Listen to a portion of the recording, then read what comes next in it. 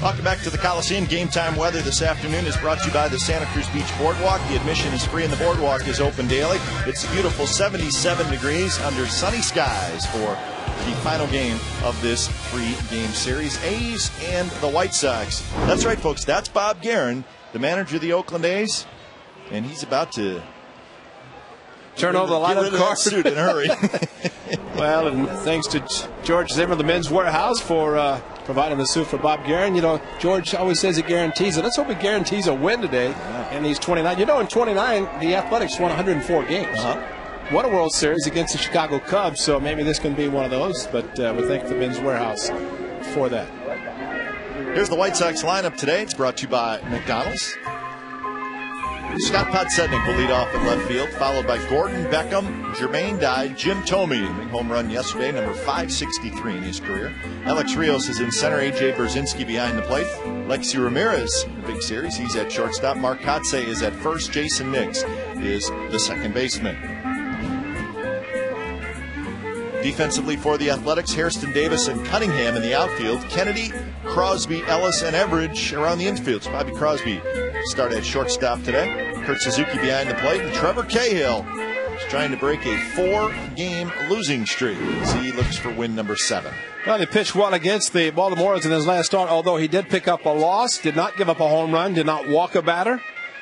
12 ground ball outs, and as we showed in that game when we televised right here on uh, Comcast Sportsnet California, that uh, he gave up the three runs on three ground balls that happened to make it in the outfield, one on an infield uh, ground ball that a run scored.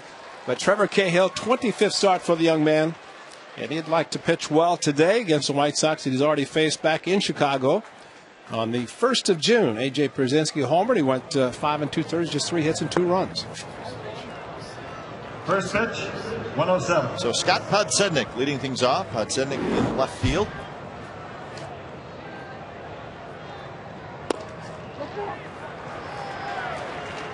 Podsednik, Beckham, and Dye against Trevor Cahill.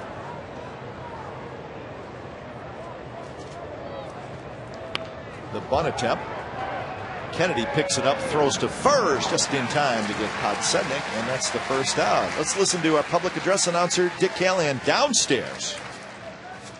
Batting in the second position, third baseman, number 15, Gordon Beckham. Dick located right down by the A's dugout today. I don't think they had diamond vision back in 29. They'd have a lot of things at 29, except a very good baseball team. Beckham swings at the first pitch, hits it hard to third. Kennedy takes care of that one, two outs. Well, lost uh, as we were going to Dick Callahan was a good play by Adam Kennedy on a good bunt by Scott Podsednik leading off.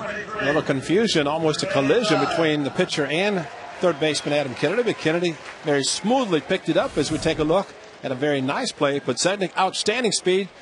And Cahill almost got to it. Fortunately, he did not because it was an easier play for the charging Adam Kennedy. Now, he could play in 29. I mean, there's no doubt. Yep. Just looking at him, he could do it. Tommy Everidge, we figured that uh, Tommy time would have been a good time. He's he's got the look. Big boy. Yeah, he could uh, he could have played in 29. Looks like Babe Ruth a little That's bit. That's right. That's great.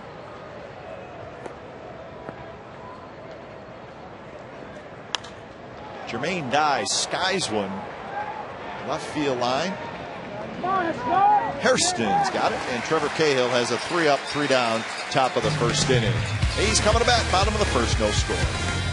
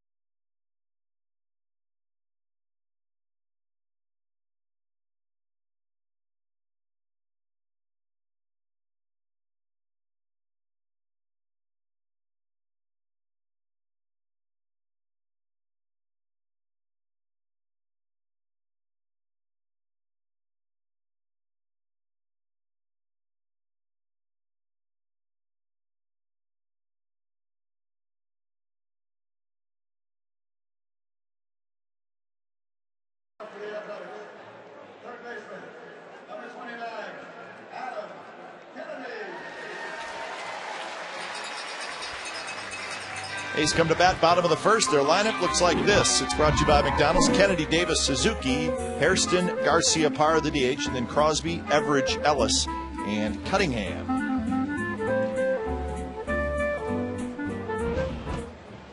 John Danks, the good left-hander for the White Sox, on the mound this afternoon. Danks' first pitch to Kennedy is in first strike, so the White Sox wearing the throwback uniforms as well.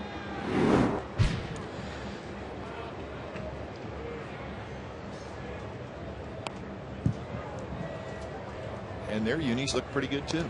Nice and simple. Yeah.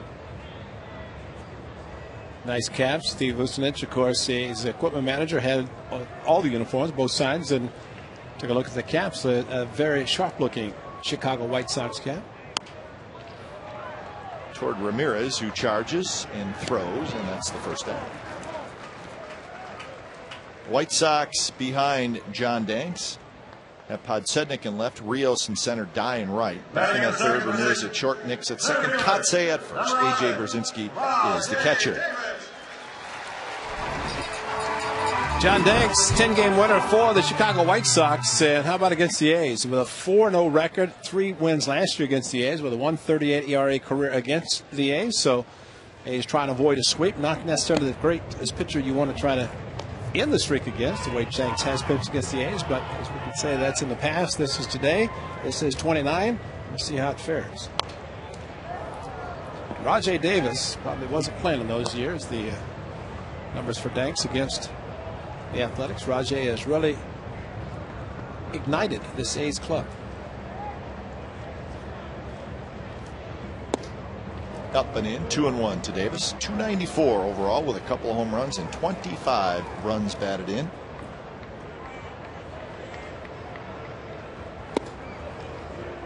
He's also sitting on a 10 game hitting streak. 15 hits and 43 at bats during the stretch.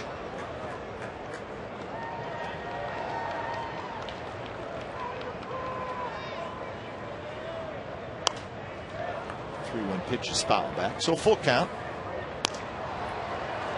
Kurt Suzuki in the on deck circle. There's the, the giveaway today. The 1929 uniform. Another pop up and just out of the reach of a hustling Mark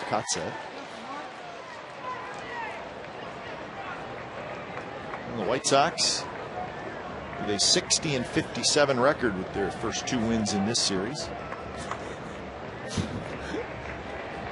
Ozzie is an amazing manager.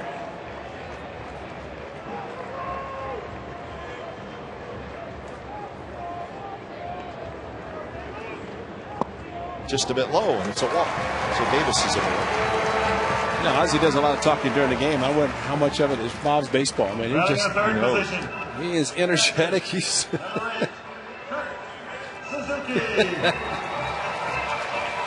umpires today. Bill Hahn is behind home plate. Paul Emmel at first. Gary Darling at second. Todd Tichenor at third.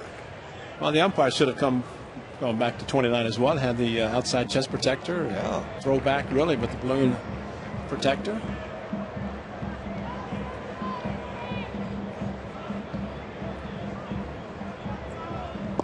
Suzuki bluffs a button and takes a strike.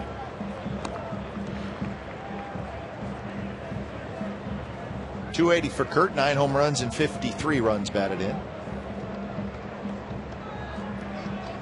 In this series, he's one for eight with a walk. John Danks is not overpowering with his fastball and has a, an assortment of pitches.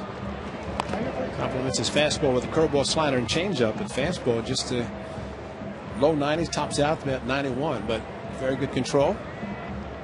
Except for the walk to Rajai Davis. He's just 23 years old. So Danks, good young pitcher and a big part of the White Sox future.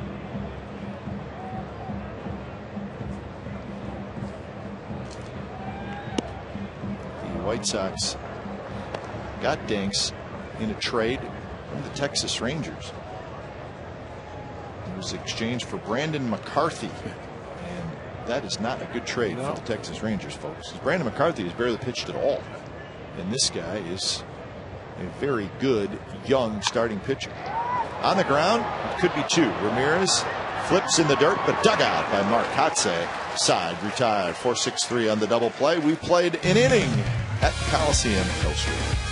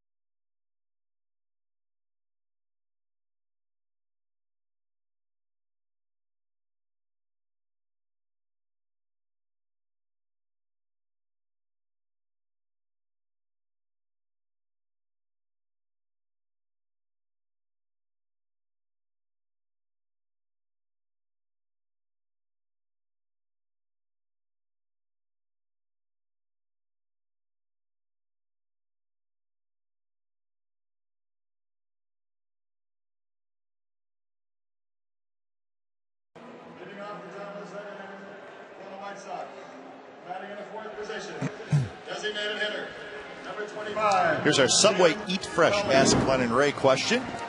Cayman and Milpitas. Well, we just talked about it. Don't you think the umpires should wear throwback uniforms during throwback games? That's what Cayman wants to know. And we just said, yeah, we agree.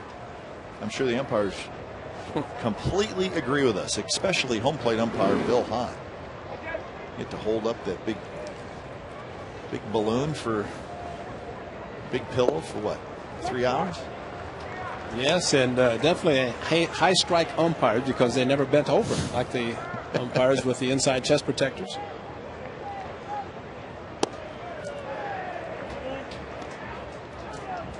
Toming, Rios, and Pierzynski here in the second inning for the White Sox. Yeah, they might have had the umpire behind the pitcher. In 29? I've seen some games in spring training where they had an umpire. That's you don't see the pitches very well, albeit like our center field camera. Yeah. Uh, Jim Thome in the record books after Edgar Gonzalez with his recoil. It recoiled all right, right over the 367 mark. Right below the Reggie Jackson number, nine retired here at the Coliseum. A gentleman that he tied with his 563rd home run. Reginald Martinez Jackson. 2 2 pitch on the inside corner, strike three call. Good pitch by Cahill. Didn't know if Bill Hahn was going to make the call. Looked like a great pitch to Jim Thome as he waited. And so did Bill Hahn. And finally gave the call. Perfectly thrown inside corner. Jim Thome a great eye, but that time took it, and it was strike three.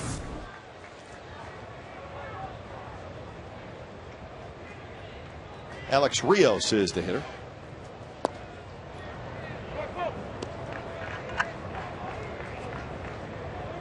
So Trevor Cahill, just one win in his last nine starts.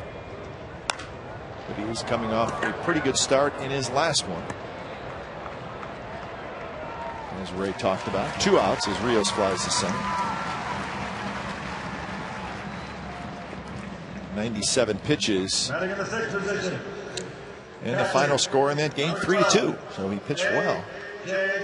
And no doubt the 12 ground ball out is very important for Trevor Cahill. And I think we're seeing the development of a, a very good young pitcher. And anybody can throw a sinker ball pitch and get ground ball outs.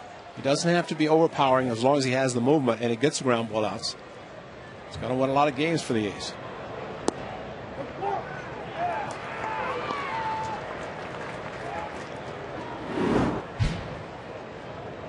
Couple of hits yesterday for AJ Pierzynski, hitting 312. He pinch hit on Friday night and then stayed in the game, so we got a couple of at bats in the first game of this series. White Sox won 8 7 on Friday, 8 to 1 yesterday. So, an offense that was struggling coming into this series has come to life. White Sox with 16 runs and 23 hits in the first two games of this series.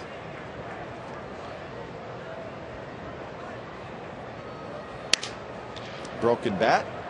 Crosby waits and then quickly throws. Everidge digs it out. Side retired six up, six down for Trevor Cahill. No score, bottom of the second coming up.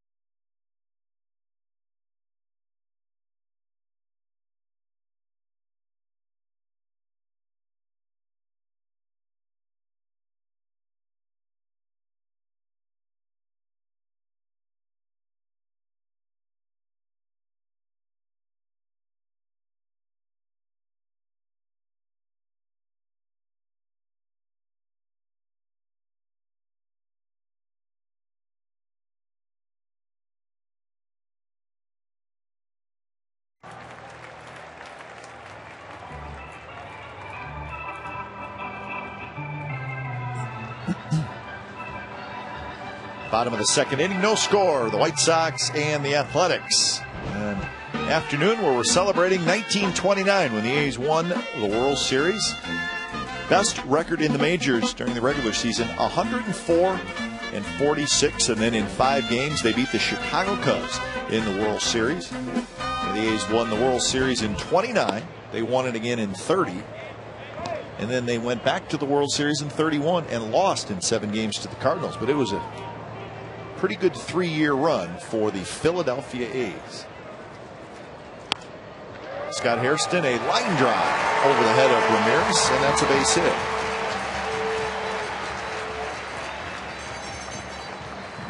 In that World Series against the Cubs, there was some great players.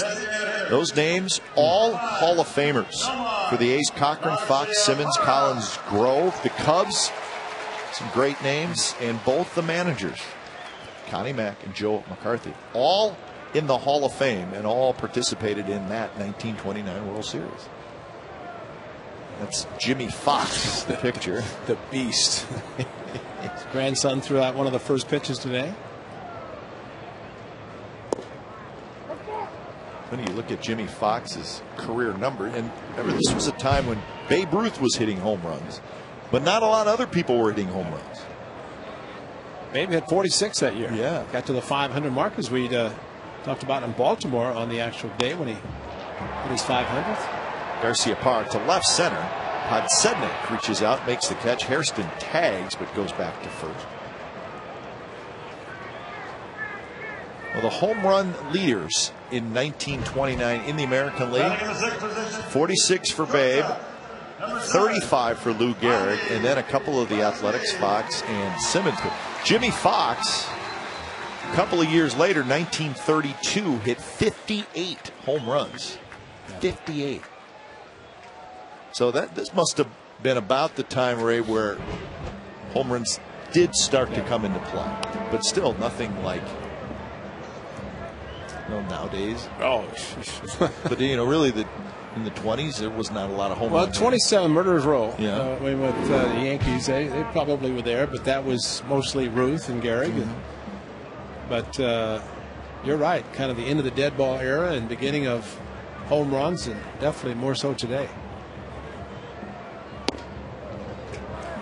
But you could go back in those years and find out how many relievers they had.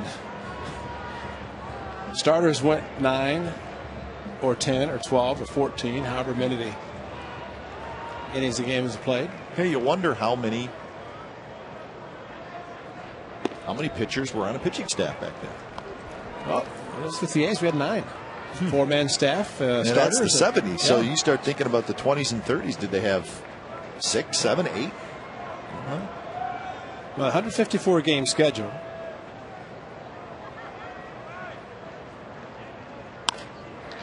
Crosby hits it hard on the ground. It's going to be a double play for the White Sox. 6 4 3. So, pair of double plays in the first two innings for the White Sox. We head to the third, no score.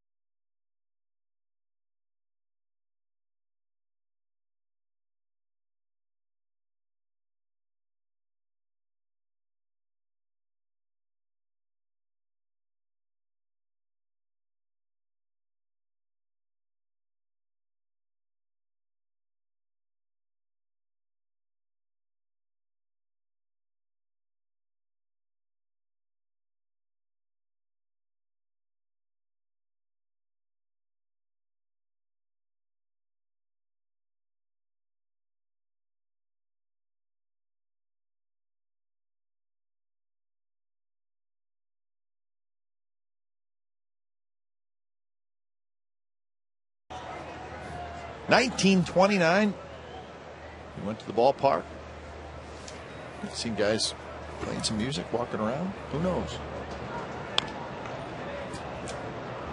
They're doing it today. I like the Diamond Vision here at the Coliseum is in black and white.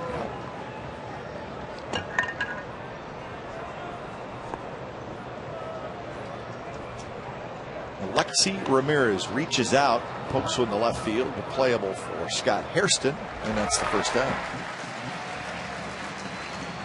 We're talking about some of the hitters on that great Philadelphia A's team, Number 30, but pitching staff was led by Lefty Grove, See where they're warming up? right next to the dugout. That's right. I actually, I started my career in Yankee Stadium with you. I mean, it was unbelievable. That was pretty common, oh, though, right? yeah. Starting pitcher warm up right in front of the fans, right by the dugout.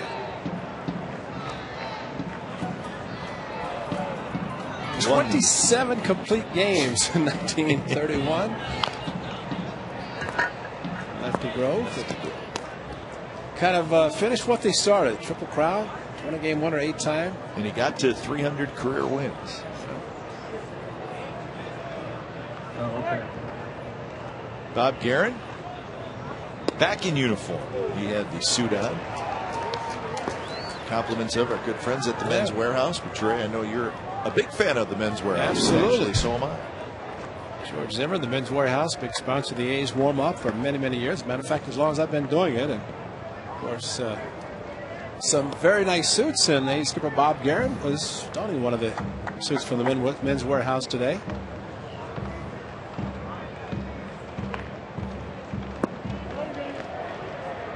Marcotte checks this one. Of course, that was Connie Mack. He wore a suit. Yes, he did. But the rule was established that uh, cannot do that in today's game. And Connie Mack never went out on the field. Right. Because you can't do that if you're not in proper uniform. We talked about this a couple, what, maybe a month or so ago. Connie Mack used to send somebody else out to make the pitching change because he had to. There's the manager. I have to check the stores to see if they have those uh, those hats. I mean, that's a pretty nice looking hat. That's the A's cap, but Skipper looked good in his suit. Line drive, and Cunningham plays it on the short hop. So Marcotte with a base hit.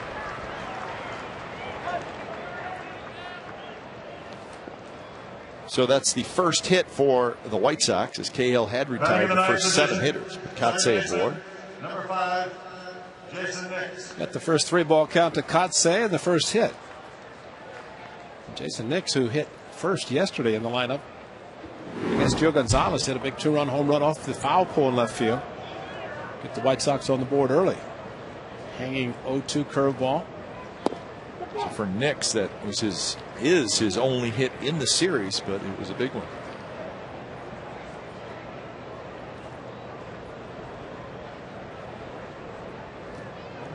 If I'm these players, I'd say I want to take the uniform Oh, home with me. no keep question. The uniform. That's a good one to keep.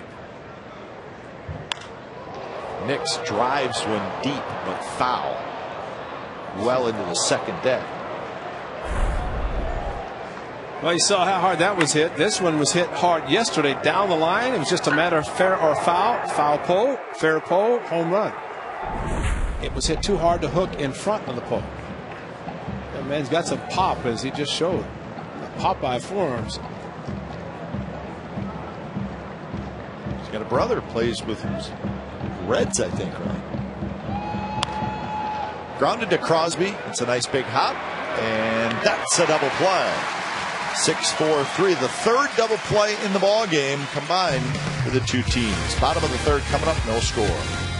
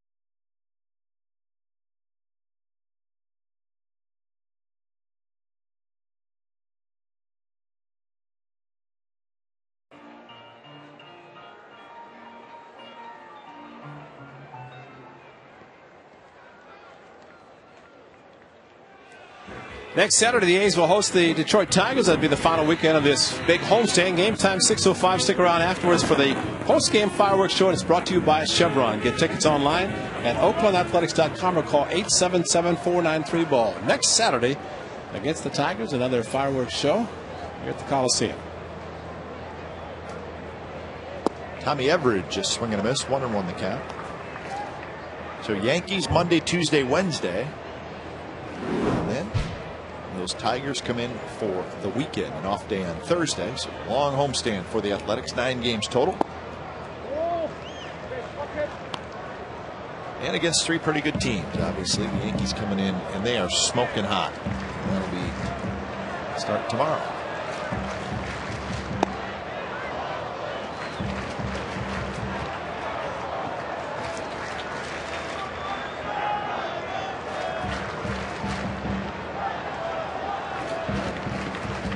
Three and one to Everidge. Pops a foul back.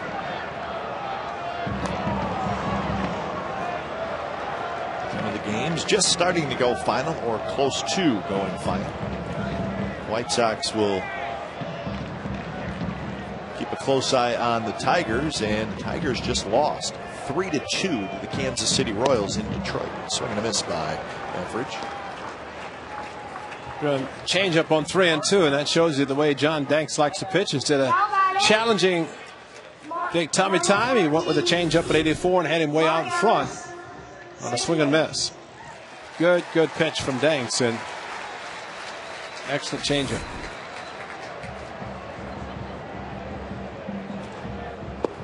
Mark Ellis steps in and takes a strike.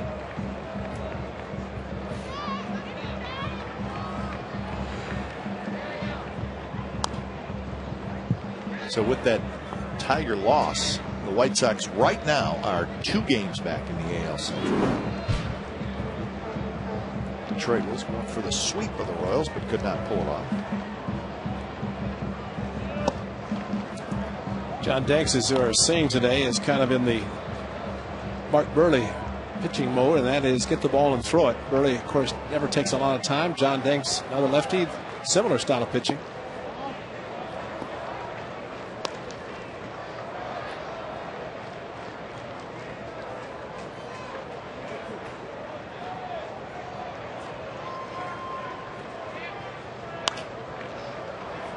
right field. Jermaine Dye over, and he is just into foul territory. He makes the catch. So Mark Ellis is retired, two outs. So a long run for Dye, but he was able to get there.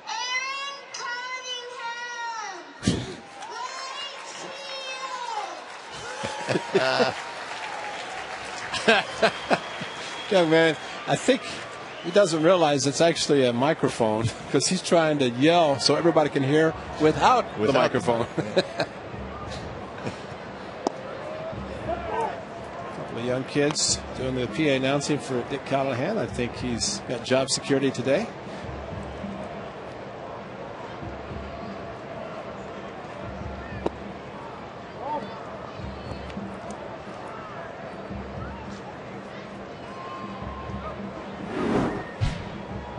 Numbers for Aaron Cunningham so far this year. Really got a chance to play a whole lot when he has been in the big league. Cunningham seven hits and 50 at bats.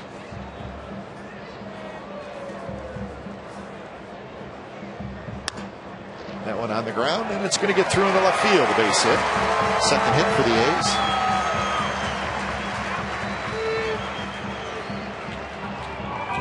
Comes with two outs here in the bottom of the third, and now the top of the order, Adam Kennedy.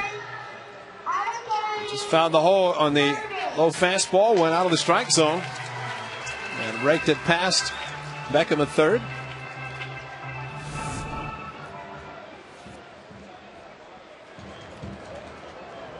So Adam Kennedy will hit. Kennedy grounded out to short in the first inning. Pretty good performance yesterday, huh, yeah. Adam Kennedy? Five hits, and not one was uh, farther than left center. Everything to right or left field. It was four singles and a double for Kennedy. Captain Sal Bando, 1969, the only other A's player to hit five hits in two different games in the season. July 28th at Boston was when Kennedy had his other five hit game. So the average with the 0 for 1 today, right at 290 for Kennedy. He drills this one to left. Getting back is Podsednik, and he's got it side retired. Fourth inning coming up from the Coliseum. No score.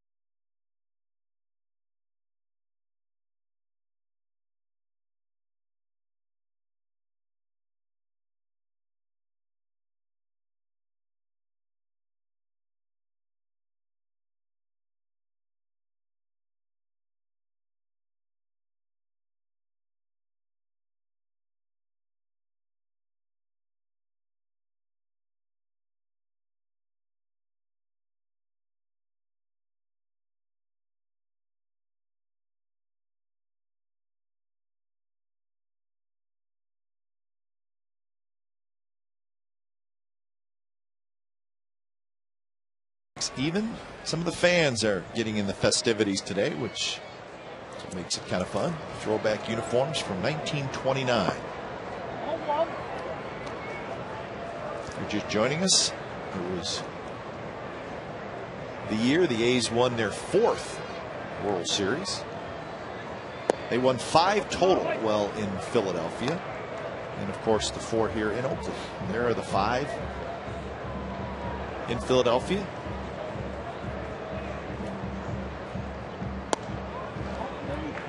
3 0 to Scott Podsednik, the leadoff hitter. And there are the four championships in Oakland. Only difference across the bay when you go into AT&T Park, you see their 54 World Championship. You don't see anything currently. No. That was in New York. Still looking. That is just fouled on the first baseline. So full count to Podsednik. He'll be followed by Beckham and Dye.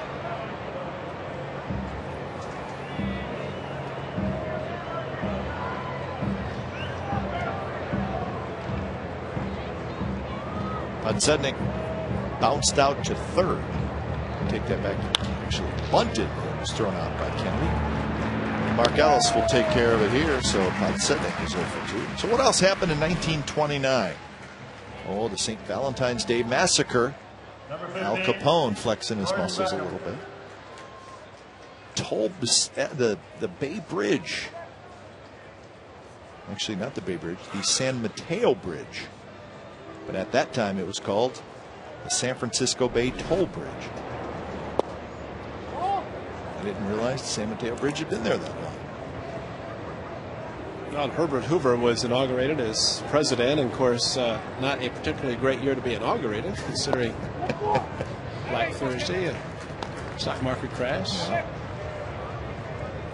and appropriately, as Babe Ruth said, when told that he made more money than president, he had a better year, and that's definitely why, because Babe Ruth was hitting home runs, his 500 to be exact, 46 that year as we showed, but the country was not in very good shape.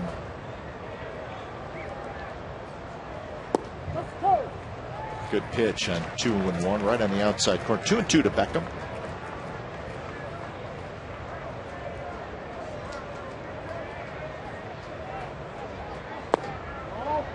And now full count. Beckham grounded out to third in his first at bat.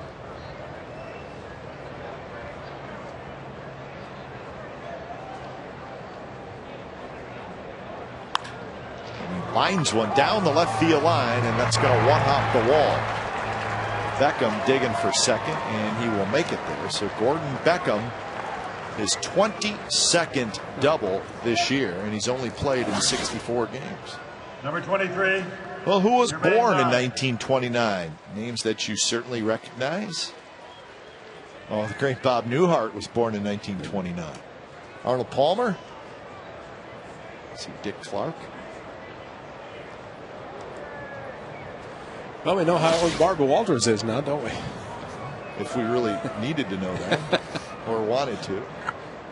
Let's see, all those people are 80, aren't they? Yes, they are. yes, they are.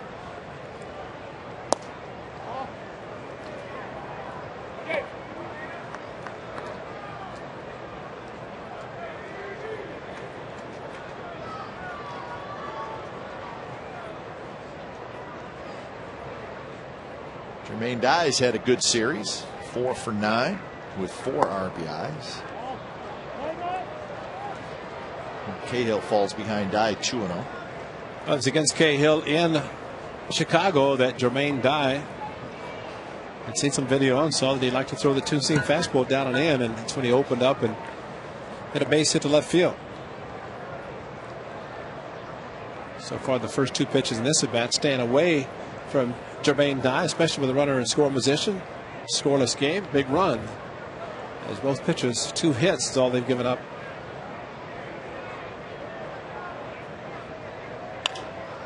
Dye gets out in front. Hairston will have a place fighting the sun, still fighting it, and he makes the catch.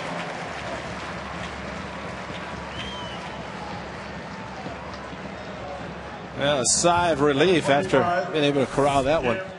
Not easy. In the sun there, kind of turns to the side, trying to have the ball come out of the sun, and there it comes finally as it starts to come down. And he's looking, looking, and boy, that is so hard. And of course, at second base, Beckham didn't know if he's going to catch it or not, so the quick throw back. But that was what Hairston was looking up into it. A very, very tough sun. It's got to be a bad feeling, huh? Inside to Thome.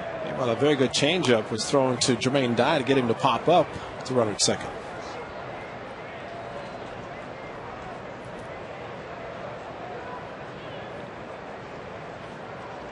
Thome struck out looking. That was in the second inning. The only strikeout so far for Cahill. We showed you Thome on the all-time home run list, now tied with Reggie for 12th. He's also 11th on the all-time walks list and 39th on the all-time RBI list. He has 1,558 RBIs and 1,616 walks. So all that, and he will strike out a lot as well. He's closing in on 2,300 strikeouts. But he should be going to the Hall of Fame because he's going to get to 600 home runs. Well, the White Sox have a decision to make whether they would like to bring him back. He is a free agent at the end of the year. He's got a big contract. He's making this year 13 million. But he can hit. There's no question about it.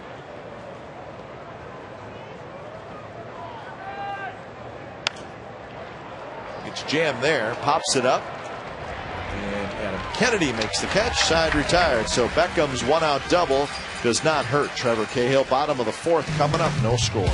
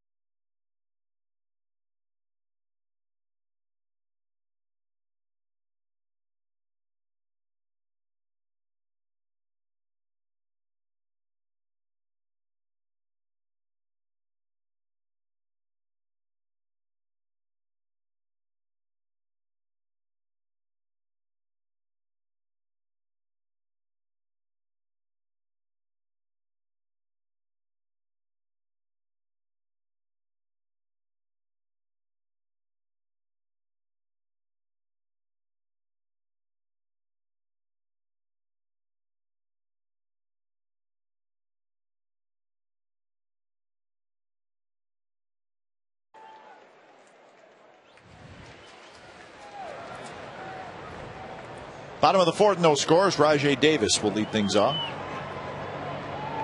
Davis, Suzuki, and Hairston. So Danks and Cahill, two pitchers today.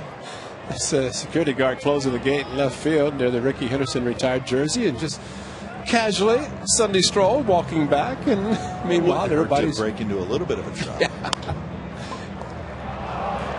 Beckham on the backhand, he was playing even with the bag, and he makes the play. Davis is out.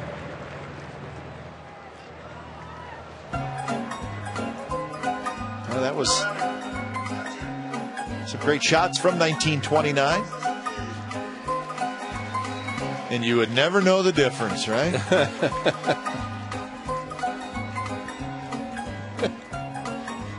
Good looking uniforms.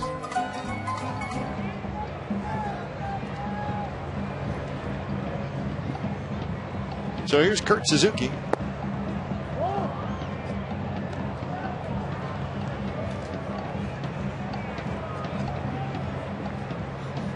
Suzuki hit into a 4-6-3 double play.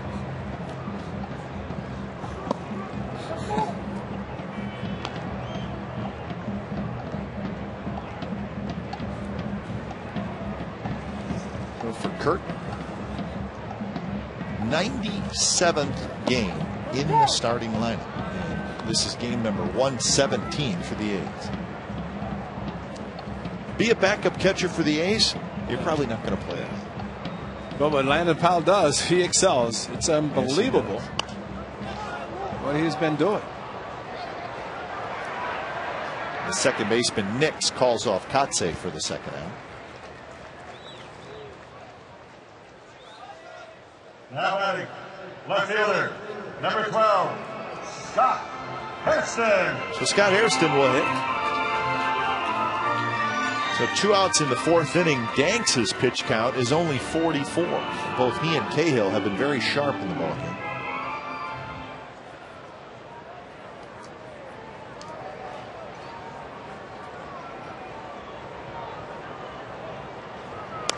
Hairston swings at the first pitch. It's a fly ball. Right field. Long run for Dye, and he's going to get there in fair territory, and he makes the catch. So a six pitch inning for.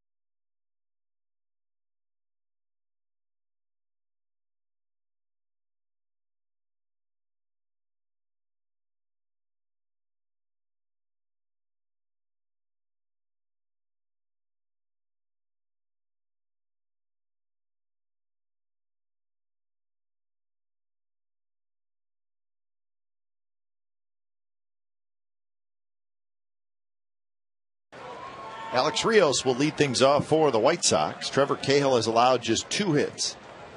He has not walked anybody, and he has struck out just one. His pitch count is 51. Well, coming off a game against the Orioles, he did not walk a batter in that game.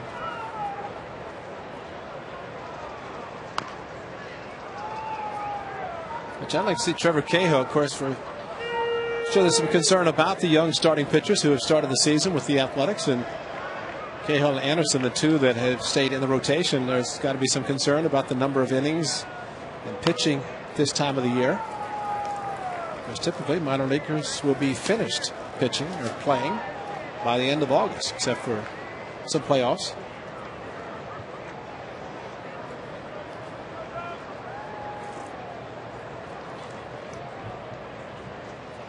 Way outside.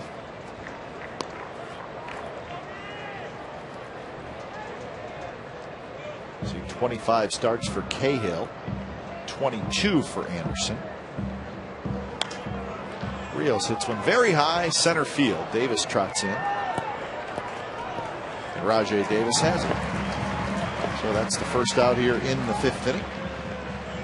Well, finally, we got in depth sports news for the Bay Area fan. It's Sportsnet Central tonight at 6 o'clock on our sister station, Comcast Sportsnet Bay Area. It's presented by Burger King. And also, for those who are fortunate, today's game is high definition to be able to watch this game in high definition. And uh, those of you who are not, you're missing a good game because these uniforms really look sharp, and you can imagine how much better they don't look in high definition. Nice blue, except for the green shoes. Steve Vucinich could just could not get black shoes. I know that Mark Ellis said these would have looked great black shoes. But Steve Vucinich and uh, he's putting together the uniforms of the 29 Athletics. The black shoes the White Sox are wearing. The A's, the white shoes.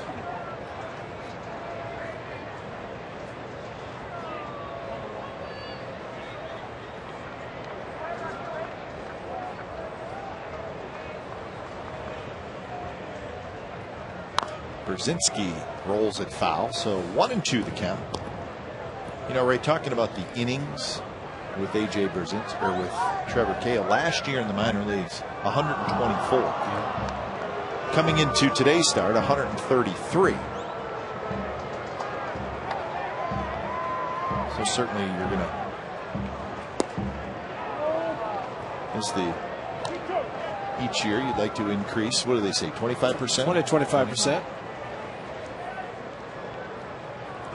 But with this being game number 117, so you still have quite a few games left. Ellis first, Pierzynski's out. Well, it's a great pitch. Got the off-speed pitch away from Pierzynski, and he rolled over an easy ground ball to Ellis. So the pitch selection today by Trevor Cahill, Kurt Suzuki, so far is very good. Watch Pierzynski fooled on this pitch away from him. Changeup, just reached out. He does not strike out a lot, does not walk a lot. That pitch clearly off the plate as the Tommy Cam showing the high home shot, but a good play by Mark Ellis. Pierzynski doesn't run well, so a good second out. Swing and a miss, and the good changeup is Ramirez way out in front.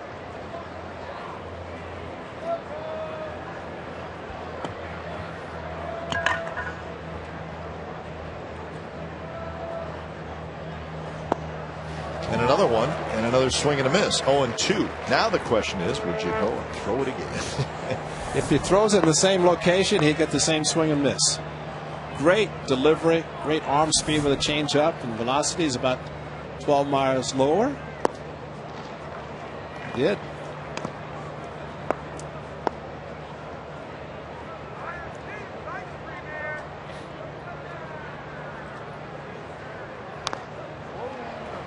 Time a fastball that Ramirez just got a piece of.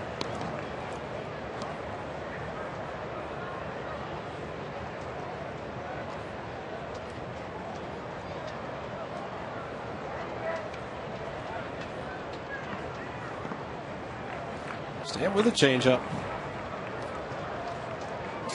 Ramirez hit a fly ball to left field in his first at bat. So three for seven in the series.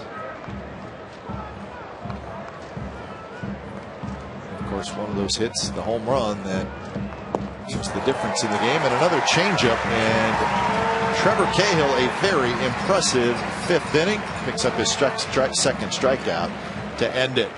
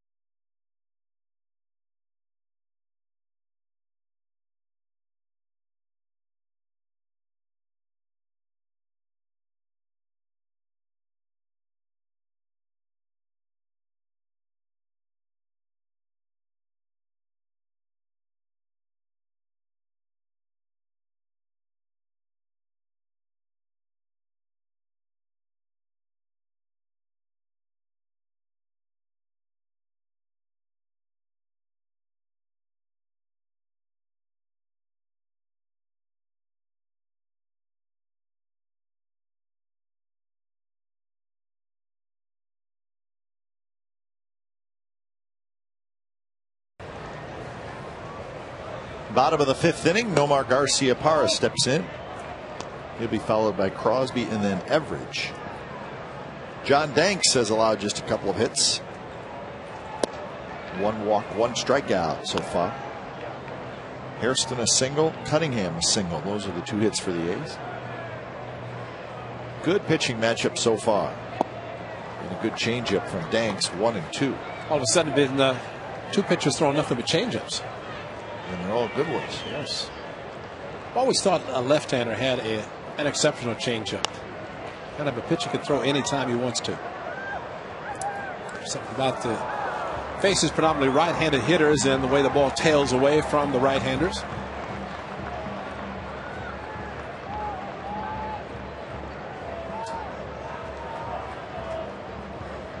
So the one-two. And that time Garciaparra got a changeup and he reached out and pokes it into center field. Now the Tigers will be coming to the Coliseum for a three-game series starting this Friday, August the 21st. Game time 7:05, and 15,000 fans will get a Jason Giambi collectible bobblehead. And it's brought to you by the San Jose Mercury News. Get tickets online, oaklandathletics.com, or call 877-493-BALL. This Friday, Tigers in town, following an off day on Thursday, preceded by the arrival of the New York Yankees tomorrow night for a three-game series.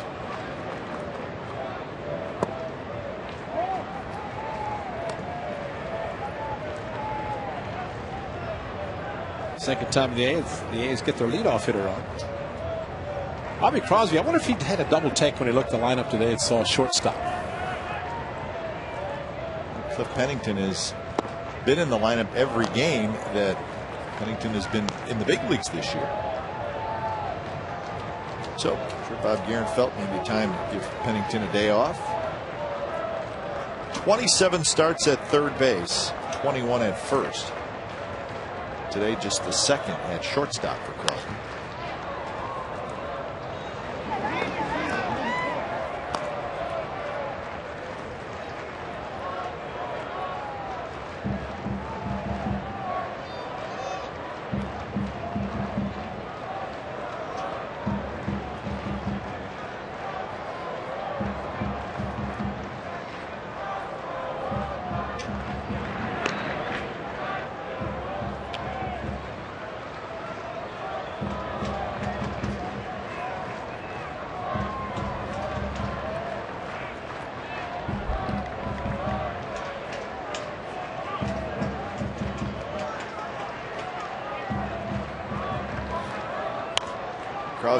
Crosby it up, and it's going to be fouled. Oh, this is Luke Hochevar. Last Sunday at Kansas City Kauffman Stadium, a two home run game, change up the opposite field. A game I'm sure that one of these days Tyler Joseph Crosby will look at and say, That's my dad. He's a couple of months old, so he may not realize what's going on right now. He will. he will for sure. Bobby strikes out there. Another off speed pitch from Danks. So that is the second strikeout for the left hander. First baseman. Well, Bobby got a 2 0 fastball. He swung and foul, pulled fouled and figured as he got deeper in the count, he was going to get the changeup for Danks, and it has been a good one.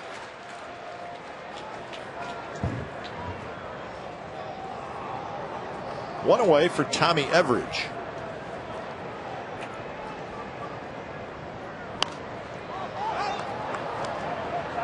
Zitsky comes back and he's going to run out of room, drops into the second row.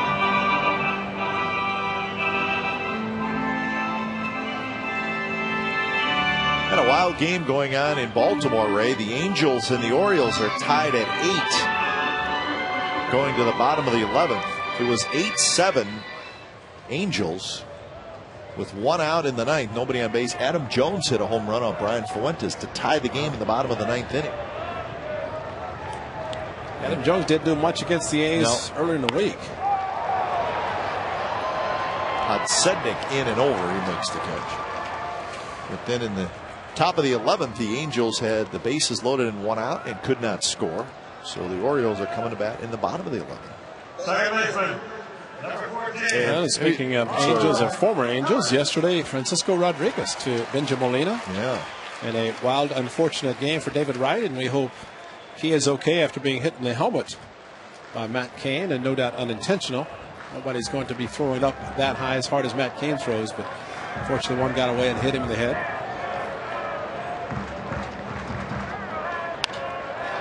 Line drive by Mark Ellis. Podsednik over. Bobbles it. Now Garciaparra is going to try for third. He'll make it as the throw goes to second. So first and third, two outs for the A's for Aaron Cunningham. And Mark Ellis jumping on the first pitch, and why not? Gets a fastball up in the zone, and Right. John Danks has to be happy this ball didn't leave the park. Mark Ellis swinging down on the ball, a little bobble by Podsednik, and very smart. And that's just a smart outfield play. Instead of thinking about the runner going to third, he came up throwing immediately to second base, and he held Ellis at first.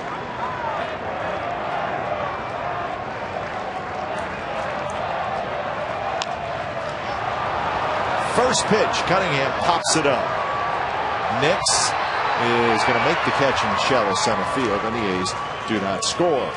Sixth inning coming up from Oakland, no score. A's fans, it's time.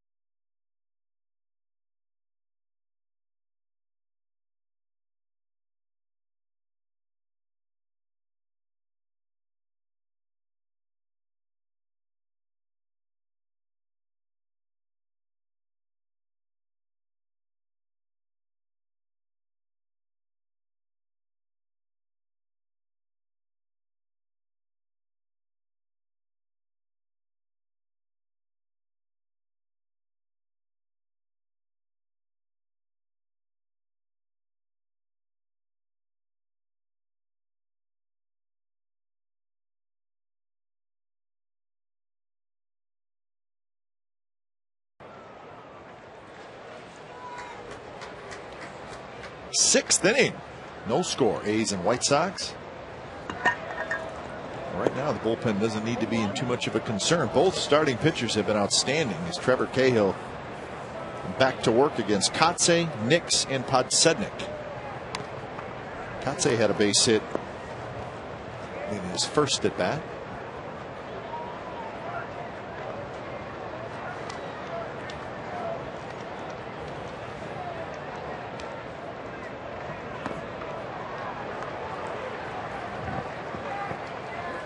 Just went final down in Texas. And that was a big series. And the Texas Rangers hung on today and beat the Boston Red Sox four to three. It's a line drive by Mark Kotsay down the right field line. That's a fair ball. Kotsay is going to try for two. Cunningham's throw is offline, and Mark Kotsay has a hustle double to lead off the sixth.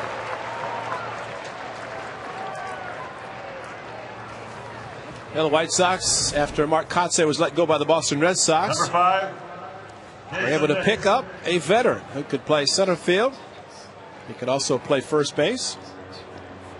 And he could also hit, as we saw when he's with the Athletics and going for a double all the way on this ball in the right field.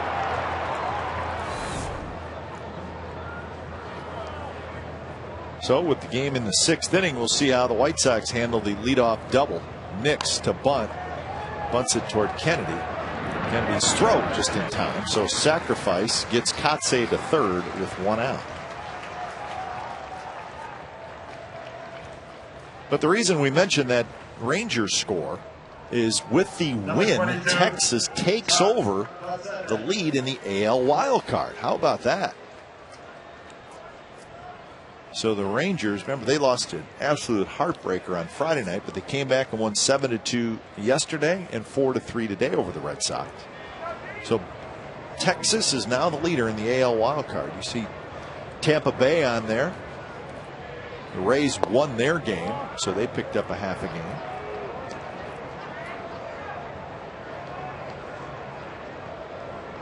Well, the A's hoping for another ground ball off the bat of Podsednik with the infield playing in. Podsednik runs well, so bottom line, gets the ball through the infield. He's taking the chance it hits him at one of the A's infielders.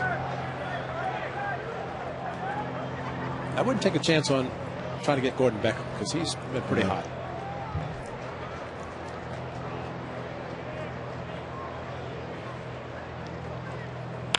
There's a line shot left center field, and that's going to roll all the way to the wall. Run scores. Podsednik digging around second. He's trying for third, and he will make it with a headfirst slide. RBI triple by Podsednik, and the White Sox take the lead, one nothing. Well, he's thinking three all the way, and pitch got up. And Podsednik, as we have seen in this game so far, he is not taking a lot of pitches. And of course, with one out, he wanted to get to third, and as soon as he hit it, that's what he was thinking about. He has the speed to be able to do it, all on his own with the ball in front of him. And this might be the longest headfirst slide I've ever seen, and it worked for him. So here's Beckham, infield in again. For Podsednik, his 34th run batted into the year. Gordon Beckham, a ground out and a double so far in the game. He's 6 for 11 in the series.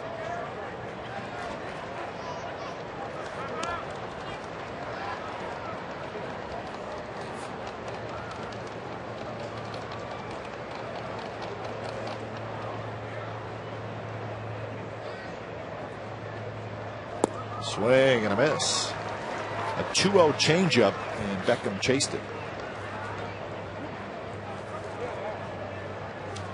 On deck is Jermaine Dye. A leadoff double by Kotsay sacrifices to third, and Podsednik triples him home.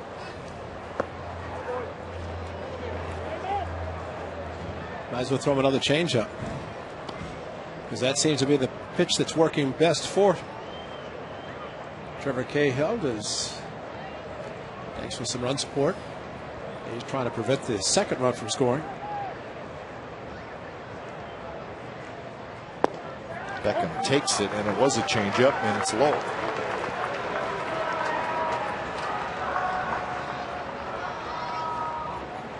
First walk issued by Cahill is Number 23, Jermaine Dye.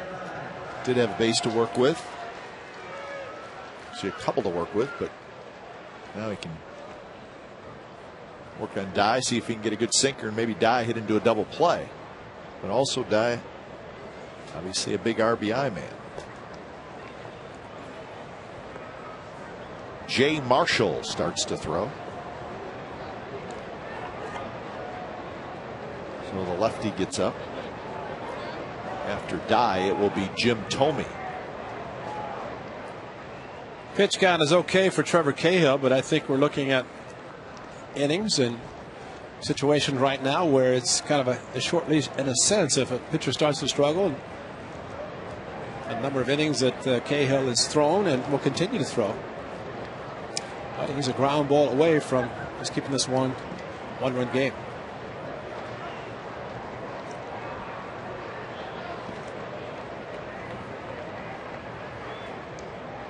Pitches high to Jermaine Dye.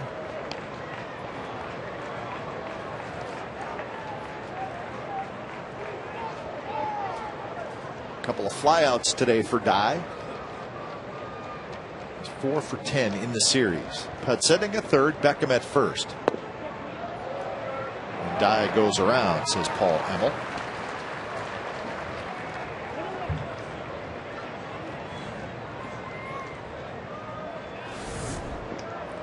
Main Dye is thinking about driving in this run and a little aggressive on the pitch out of the strike zone.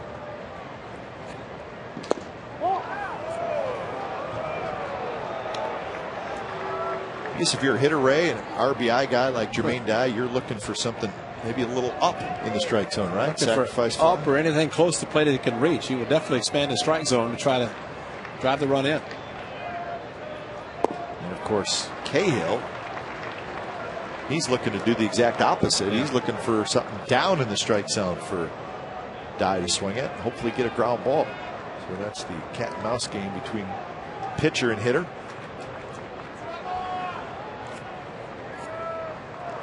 Three one, and it runs inside. It was a three one changeup. Cahill showing a little frustration on the mound. The bases are now loaded for Jim Thome.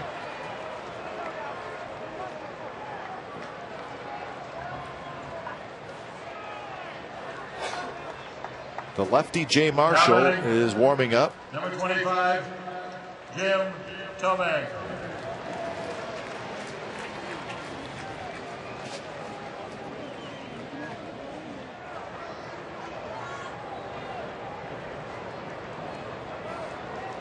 The splits for Thome this year 232 against left handed pitching, 259 versus right handed pitching. And he drives one center field. Davis sets up. Tagging up is Podsednik. The throw is going to be cut off by Everts. Throw to third and not quite in time. Run scores. Beckham to third. So it's a sacrifice fly for Jim Thome. And the White Sox have a 2 0 lead. Now the throw should have gone straight to third without going to the cutoff man. The A's might have had a chance to get Beckham. They were not going to get Podsednik. And what Rajai did was correct. He hit the cutoff man. But the throw, it took an extra throw to try to get Beckham going to third. Sometimes you just concede the run. In this case, you had to with Podsednik. Now, when you're an outfielder, Ray, and you're out there by yourself, is anybody yelling at you to tell you where to throw, or are, are your teammates too far away from you? Too far away, and basically it's the knowledge of how deep the ball's been hit and who's running. The biggest key is who's running, and but Podsednik was going to try regardless. And I just think the ball was too deep, and it's, it's something the outfielder just has to plan ahead in the event the ball is hit. Where are the runners going to advance? And you can look up and see Beckham taking off, and that would have been the player to get. Davis going back. He's got room. He makes the catch. Side retired. Couple of runs for the White Sox. Bottom of the sixth coming up. 2 0 Chicago.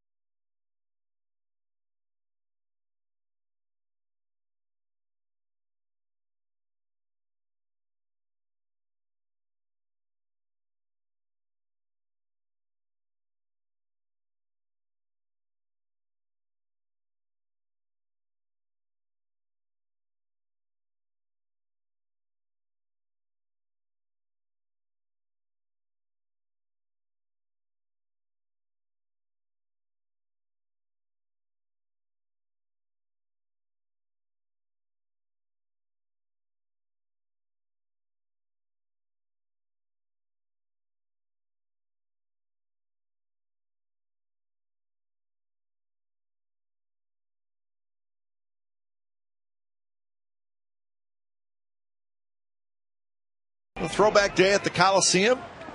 Going back to 1929. But what we have here in 2009 is a pretty good baseball game. Unfortunately, the White Sox got a pair of runs in the top of the sixth inning, so they lead two to nothing. Each team with four hits. There has not been an error in the game. Top of the order for the Athletics, Kennedy, Davis, and Suzuki. He's had a couple of runners on in the fifth, stranded them both against Danks.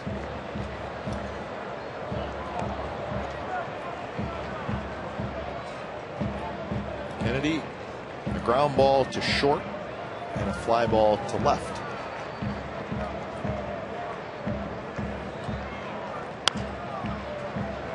Gets jammed. Nix comes in, makes the catch. Is there anything that frustrates a hitter more than uh-huh. that? Probably not.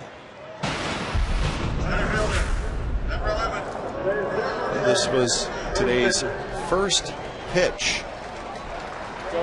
One, two, three. Is it the granddaughter and the grandson? Is that right? Of Connie Mack. Yes, Right. Yeah. But Jimmie Foxx's grandson. grandson.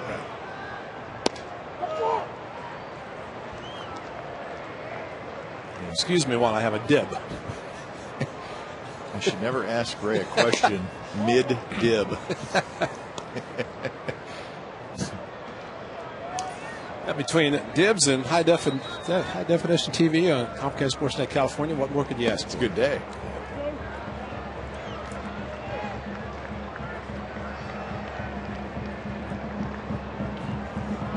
Plus, when was the last time you wore a baseball uniform? Rajai Davis with a one out hit. Well, even better to put on a uniform and not have to play.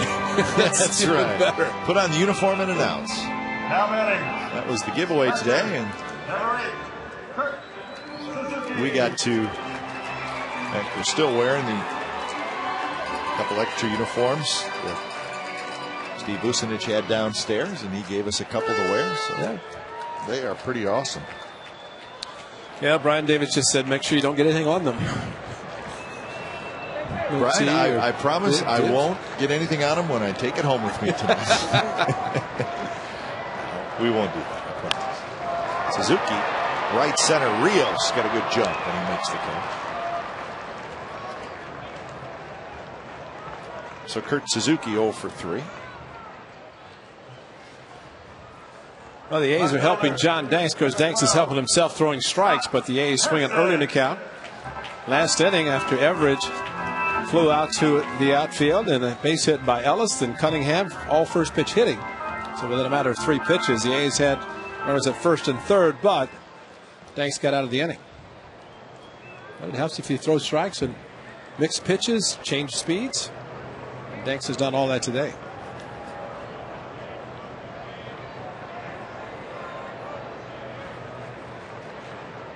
Hairston has a base hit, one for two. They're still playing in Baltimore. It's now in the 12th inning, bottom of the 12th, 8 8. Told you a couple innings ago the Angels had the bases loaded and one out, did not score. They just had the bases loaded and one out again in the 12th and did not score. And they were had a one run lead going to the bottom of the ninth, and the Orioles tied it. Orioles scored 16 off the Yeah. Angels of Friday. Remember the Rangers won, so if, if the Orioles were to win that game, the Angels' lead would be down to three and a half in the AL West.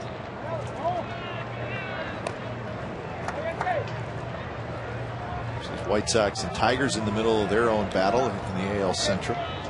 White Sox and Tigers will play six more games against each other, three at home and three away, including the final weekend of the 2009 season. There'll be a three-game series in Detroit. Davis goes. Pierzynski's throw, no chance. Davis with a stolen base. And a good read on Danks. And Rajai has number 24, sixth most in the American League. One away from his uh, season high last year. Pierzynski with a quick release, but Rajai just as Rickey Henderson would say, 85% of the time on the pitcher, and that was one of the 85%. 3 0 pitch down around the knees called a strike.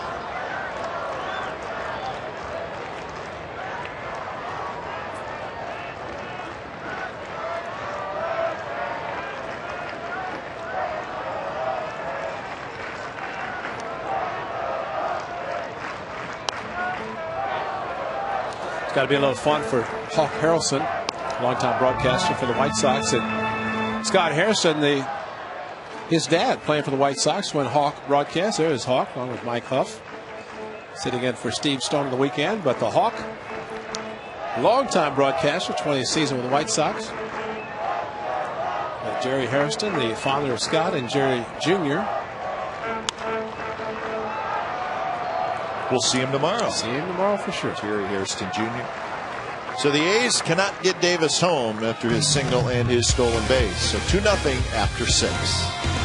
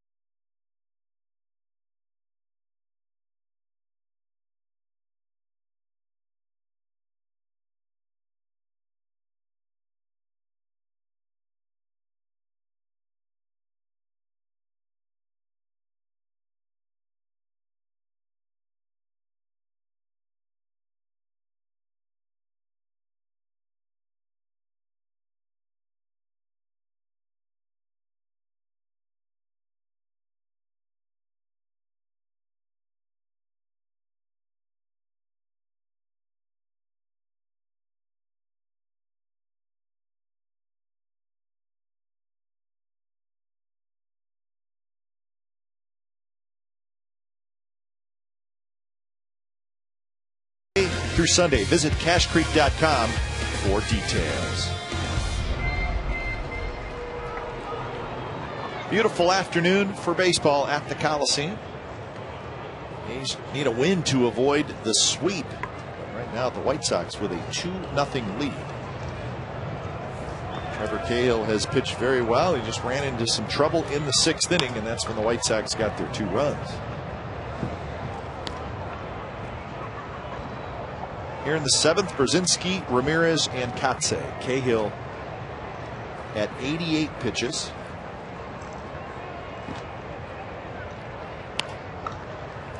He's got a quick 0-2 on the White Sox catcher.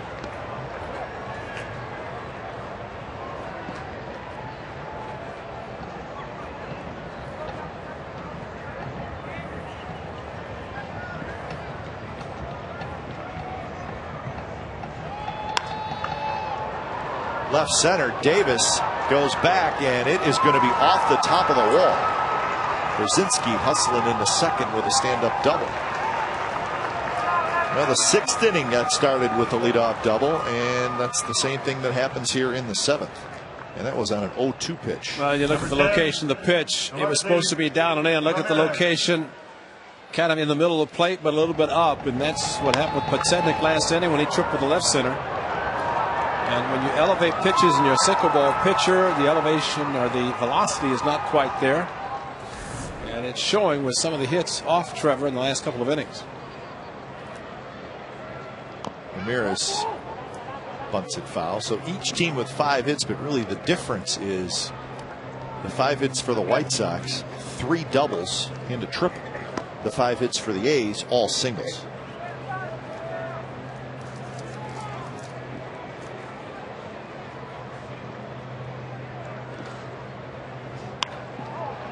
Drive foul as oh. Ramirez did the fake bunt and then swing. That's a great play protecting. He's doing his job, that young man, the old lefty. Got some fans in trouble Friday night, but this one protected the pitcher, although a little bit of a long lay. Get in front of it. Don't be backhanding the ball. You got to get your body down in front of it.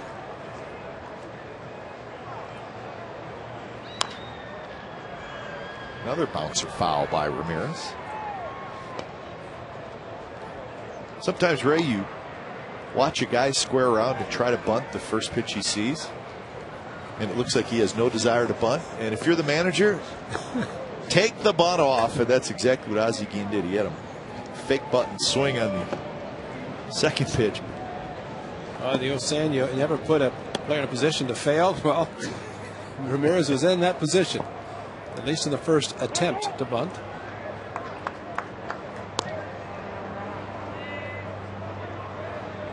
Ramirez on the afternoon, a fly ball to left field, and a strikeout swinging. That was in the fifth.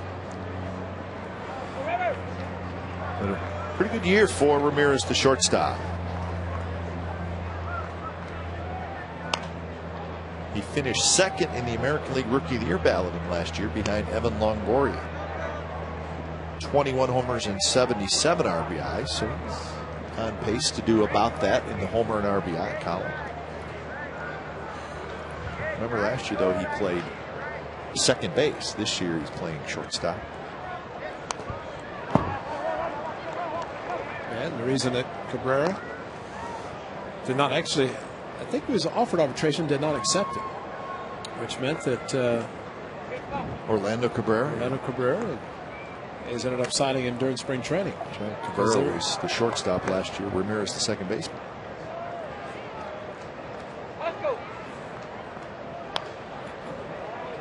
He's a free swinger.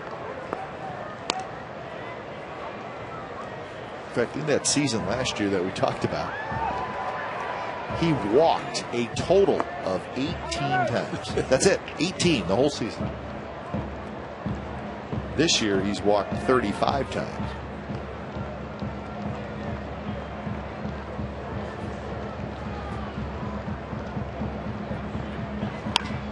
Bounces this one. Crosby in the hole, throws, and well, he made it probably closer than I thought he would. Nice effort by Bobby Crosby, but Ramirez runs well, and he's going to have a base hit. Pierzynski stayed at second base. Well, dangerously uh, close at first base as Everidge reached for the bar on the short hop and had to knock the ball down to keep it from going past him. Bobby, an excellent play. Not much of a chance to throw out Ramirez. And well, that play, Harold Baines almost had to knock the ball down. He's the coach. So Trevor Cahill will depart. 98 pitches, six plus innings. We'll be back.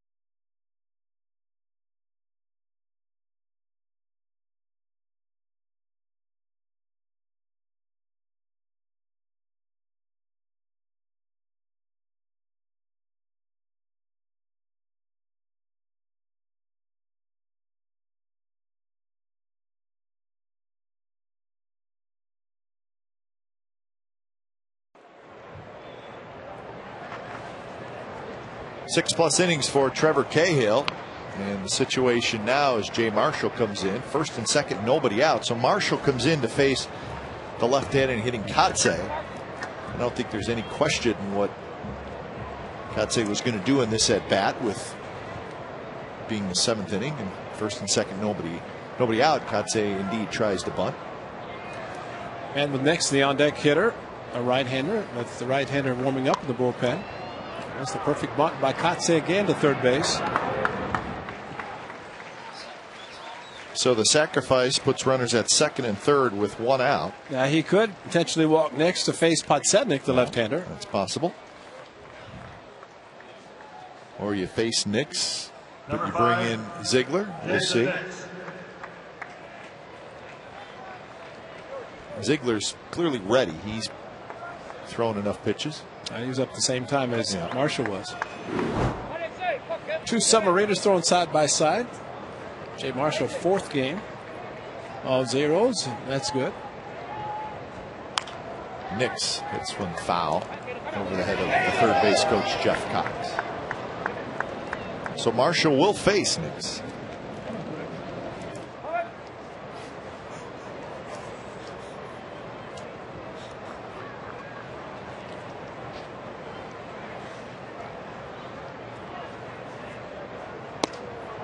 Fastball on the inside corner. So it's 0 2. Nix is hit into a double play and had a sacrifice bunt. Infield halfway.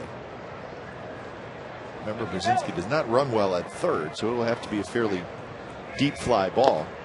Or a strikeout, and Marshall gets the big strikeout. So on three pitches, Nix is gone.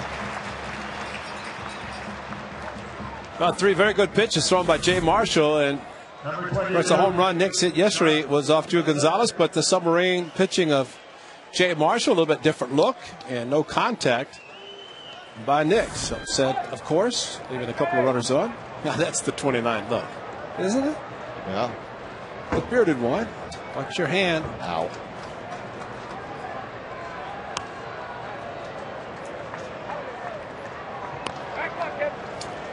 A lot of work during spring training by Ron Romanick with Jay Marshall, just trying to lure him even more.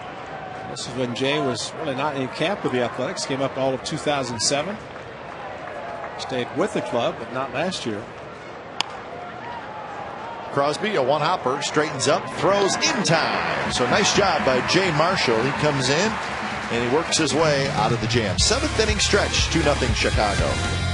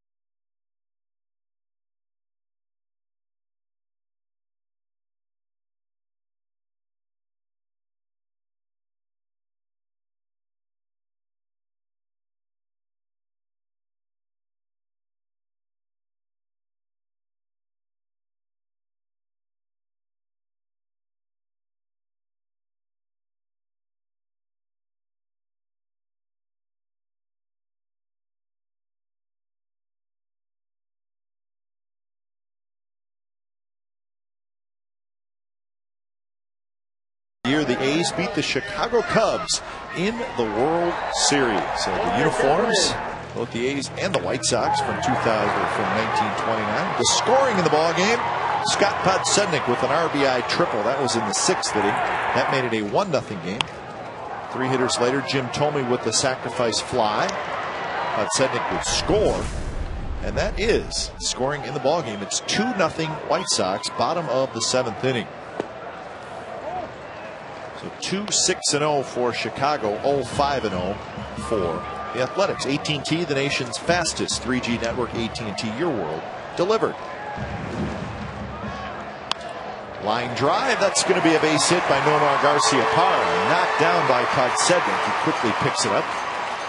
So a leadoff hit for Nomar. He's two for three in the game. Well, let's hope the great job by Jay Marshall keeping a couple of runners on base instead of making it a four to nothing game, just two to nothing. Nomar starts it, change up, stays back, and gets his second hit with the other one. Similar pitch back up the middle with two strikes. This one, though, Podsednik got two, and he might be a little bit conscious of the outfield grass, the dirt, because of the bleachers.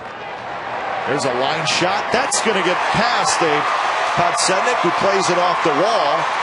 Nobody's at second, so Crosby will make it. And second and third, nobody out for the Athletics. Well, maybe they're happy what Jay Marshall did, getting out of the top half the inning. Those back-to-back pitches, three pitches in the inning, and Bobby Crosby jumps on it. Maybe another high changeup from Danks and hit so hard, came back to Podsednik. But on the move was Garciaparra, getting the third easily. And Mark Kotsay, the trailing first baseman, was not at second. But great swing by Bobby. So Tommy Everidge steps in. Single by Garciaparra, a double by Crosby.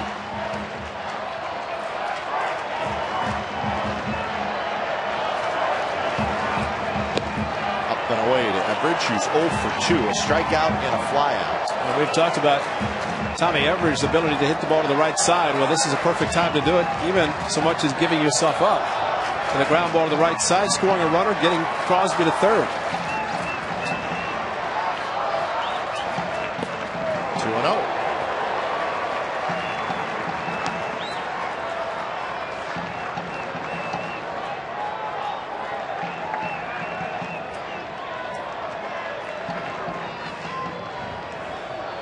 Changeup right here. Crush it.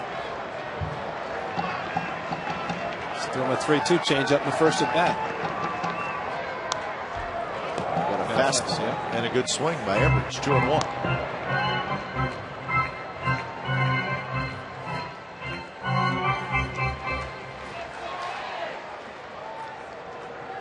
This will be pitch number 80 for John Danks.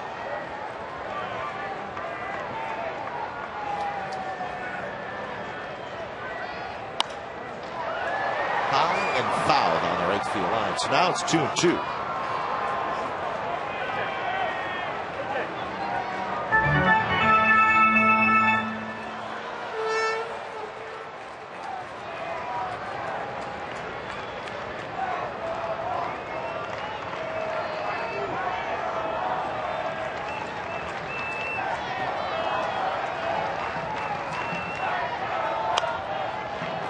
Good at bat by Everidge. He hangs in there, fouls off. Tough pitch.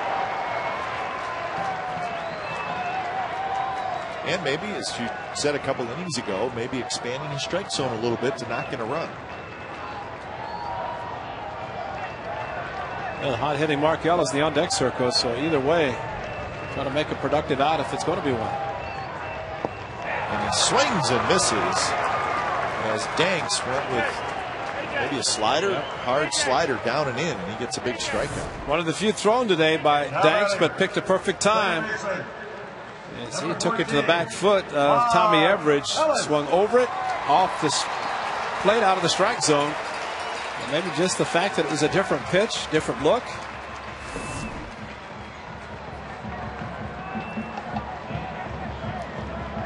So now Danks will face Mark Ellis. Mark hits it just foul. Todd Tichenor, the third base umpire, called it foul. It wasn't foul by a lot. Mike Gallego has the look of disbelief as he's standing there. Nomar spun around as well. Well, it's hit so hard. All it has to do is go across the bag, not where it lands, but across the bag. And boy, it was just a couple of inches Wow. to the foul side. And for it to be that close to the foul line as Garcia Garciaparra was reaching back or pointing back fair. I don't blame him.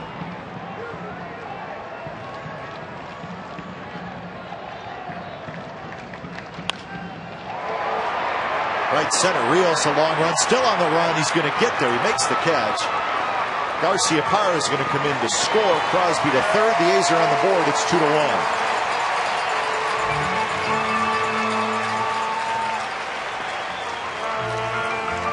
More reason for second and third and nobody out. And so the A's do get the sac fly. Have preferred to have the double just inside the line.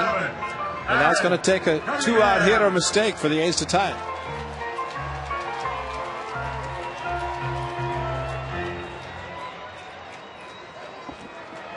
Aaron Cunningham is the hitter.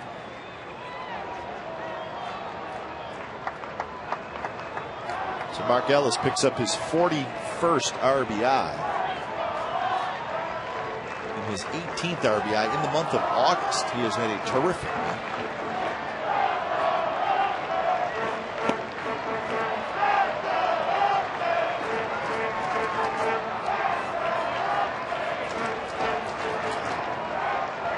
So Aaron Cunningham this afternoon, a base hit in the third and a pop out in the fifth. These need a big two out hit to get Crosby home and tie up the game.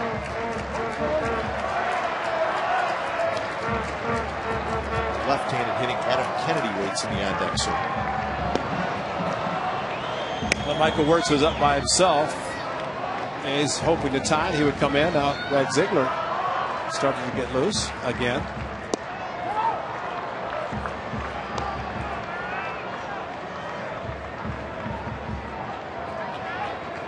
Well, Cunningham hit a 2 1 fastball his first at bat for a base hit, just in the five and a half hole on the left side.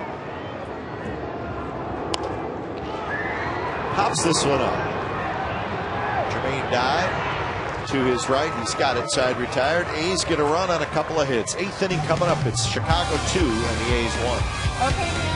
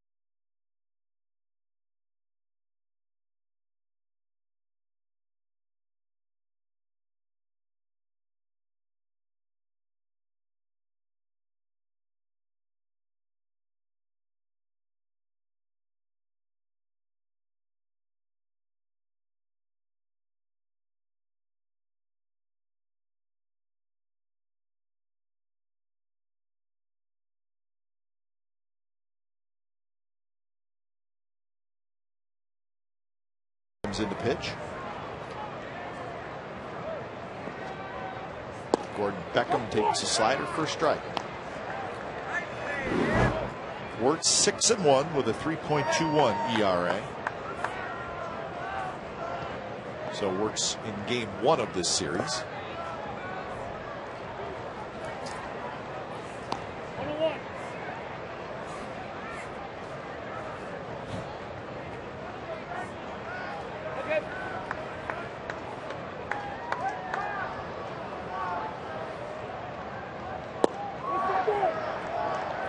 Beckham can't hold up. And one and two. Beckham one for two in the ball game. He doubled in the fourth and then walked in the sixth.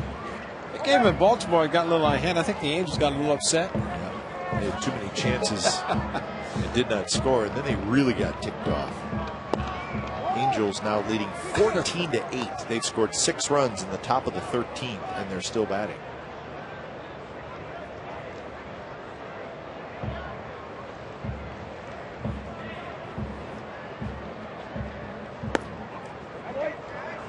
Now full count to Beckham.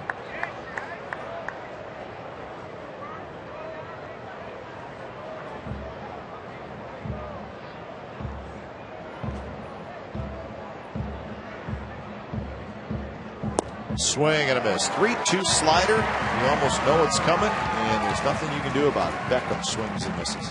And Gordon Beckham, welcome to the world of Michael Wuertz. Slider anytime, a slider that it so much looks like a fastball, you have no chance once you make the commitment. Michael Wuertz said to me yesterday, he said, You notice my new pitch? What is it? Curveball. So about three curveballs on Friday. Huh. So he's added a little twist to his repertoire. Good fastball, of course, the excellent slider, and now occasional curveball. Maybe Andrew Bailey taught him.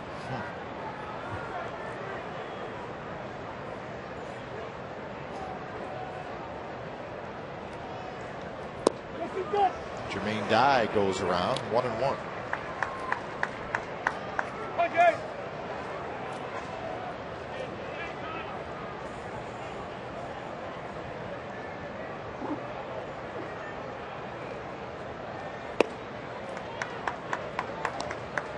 Juan Rivera just hit a three run homer for the Angels. So it's now 17 to 8. Nine runs in the top of the 13th for the Angels. So you're right, they did get ticked off.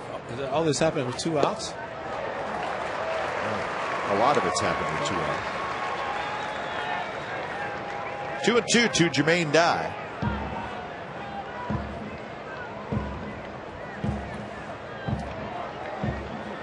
That is Tavio Dotel.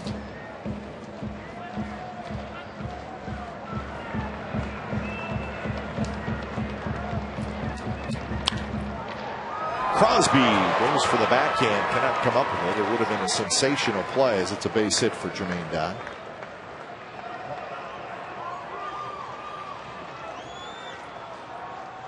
Seven innings so far for John Danks. You saw Dotel in the bullpen. You see the pitch count for Danks, so we'll see if he goes out there. He is left-handed, so rubbing his right shoulder probably isn't going to do you much good. He's rubbing his right shoulder. He is left-handed, right? Yes, he is. He has been throwing left-handed for seven innings. Let's hope he doesn't come out and throw in the right-handed for the ninth or the eighth anyway.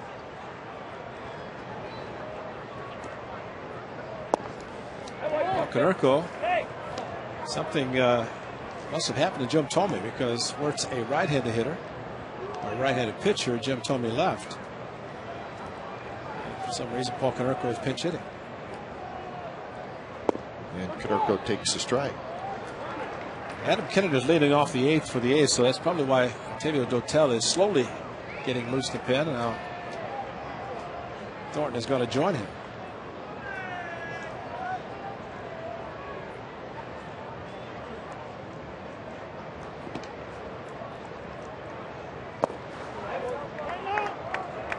So our first look at Paul Konerko today.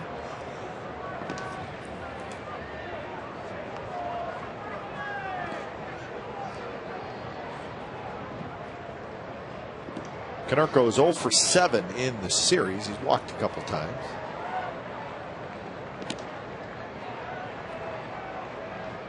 He's 0 for his last 19. So as again figured maybe today a good day to take most of the day off anyways. Three and one to Konerko. And he has been not really that aggressive swinging the bat. And you'd have to think that uh, it's going to be hard for him to swing at a Michael Wuertz slider out of the strike zone. Normally, Paul Konerko very aggressive, and he would be a great candidate to swing at a miss bad slider like that. Although that was might have been strike anyway.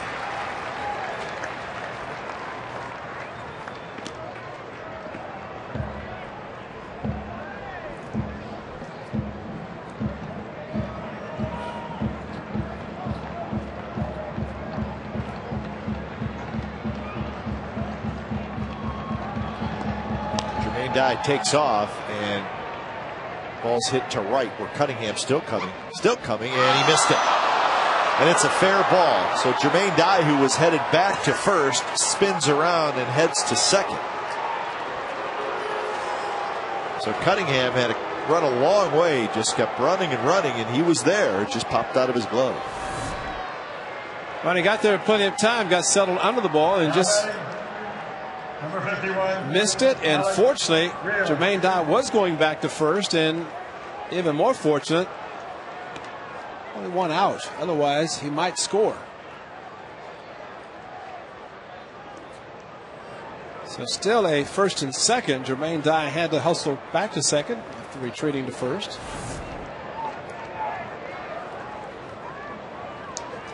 A couple of good friends, former teammates, Mark Ellis and Jermaine Dye. Scottsdale, Arizona residents. Yeah.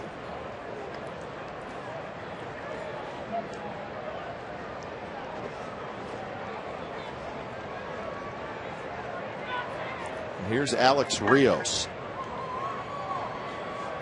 He's trying desperately to keep this a one run deficit.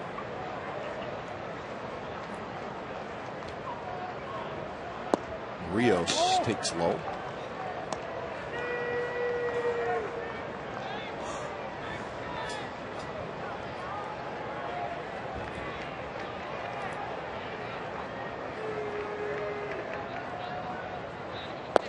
Swing and a miss.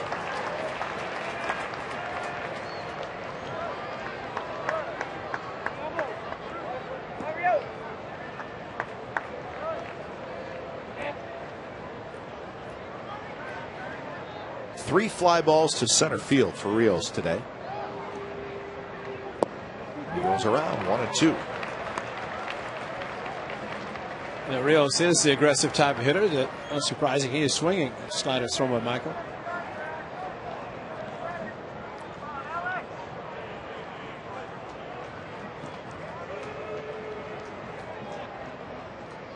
Dye and Konerko are the runners, and that slider in the dirt. So two and two.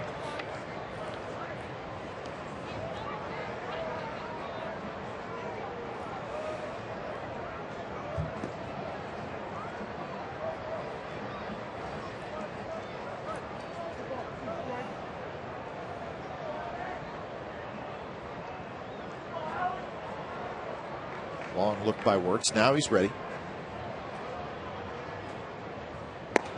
That one slipped out of his hand. So a full count.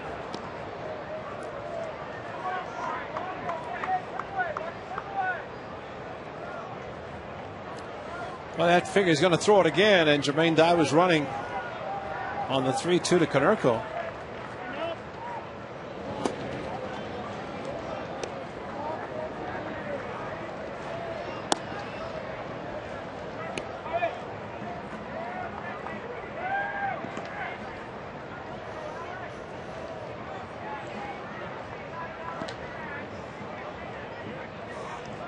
Runners do not go. Swing and a miss. He struck him out. So Rios is 0 for 4.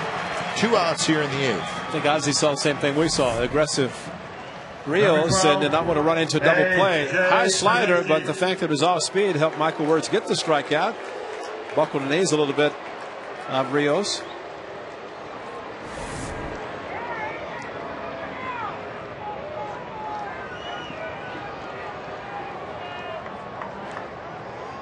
Now Wuertz needs to get AJ Pierzynski and get out of this inning. Pierzynski, a couple of ground outs and a double.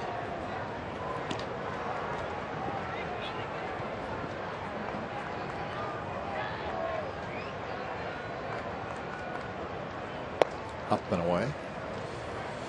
A reminder next three games, all night games against the New York Yankees. Very hot Yankees, trailing this afternoon 4 to 3. Of course, those games, if you can't come out to watch them, right here on Comcast Sportsnet California and high definition. Swing and a miss. Yankees are ridiculously hot right now. They've won five in a row and 12 out of their last 13. That's what the board says. AJ Wet Blanket Pierzynski. We didn't say that, folks. It's up on the board. and when I say board, I mean the black and white diamond vision yeah, board. that's right. Shall we give the names of the guys, the great guys over in the? No, just leave it at that. We have nothing to do with that. Troy and David doing a great job. Diamond Vision. Well, we have to ask them how they got the nickname or where that came from.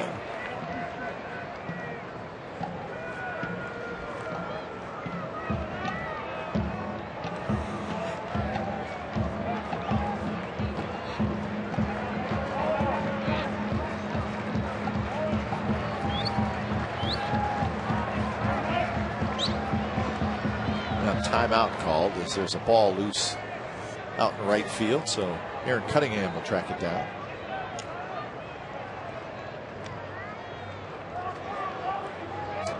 Hope that was not the last bullpen ball the White Sox had. I doubt it. it just took a ride as a souvenir.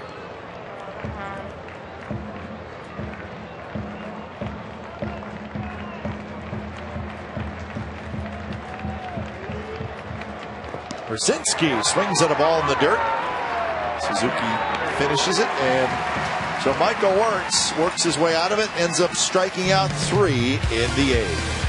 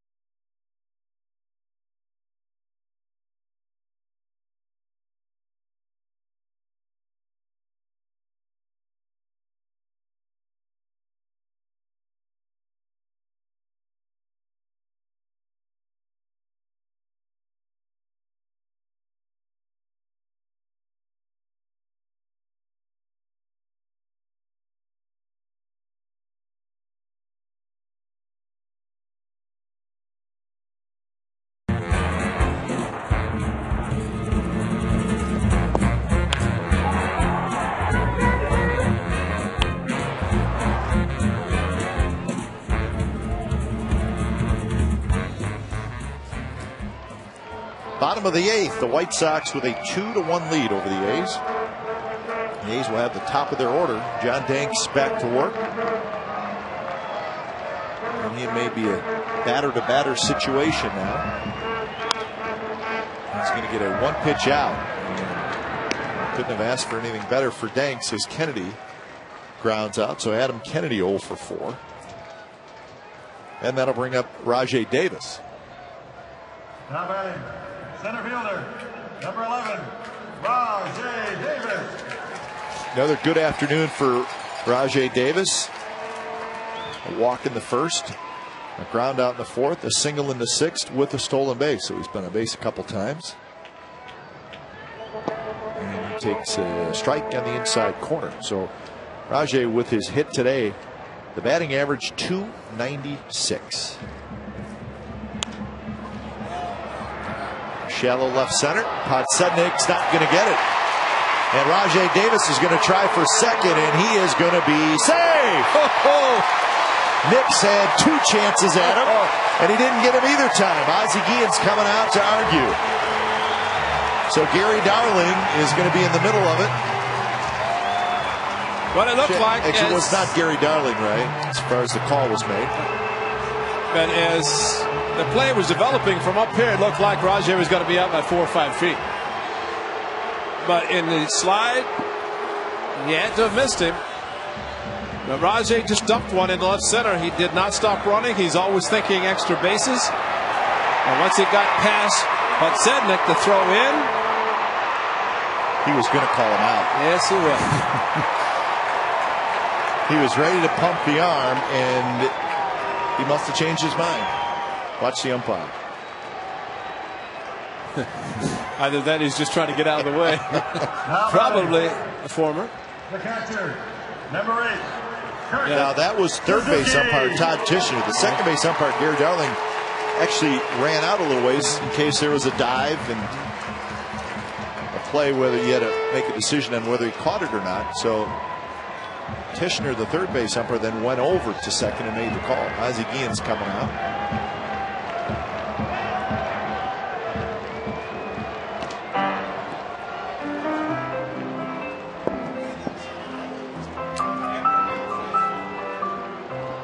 So we'll have a pitching change. Danks goes a, goes seven in a third.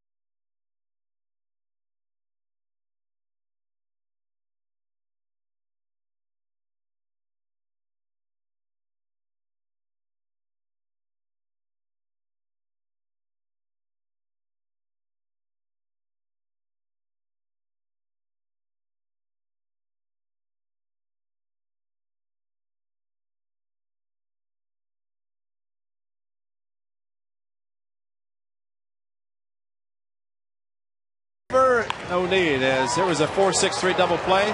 Kurt Suzuki in the first inning. That was big. The A's had something going. And then the second inning, Bobby Crosby, after a leadoff single by Scott Hairston, a 6-4-3 double play. So, John Danks, just six ground ball outs, but two big ones. Actually, four of those in the first two innings. So Dotel, who came on Friday night, was the winning pitcher, striking out the side. And then the White Sox scored a run, but it was Pennington, Kennedy, and Davis that it came in and just blew away with good fastballs. All fastballs except for one slider. Seven and a third for Danks. Finishes with 90 pitches. With a different call, he might still be in the game.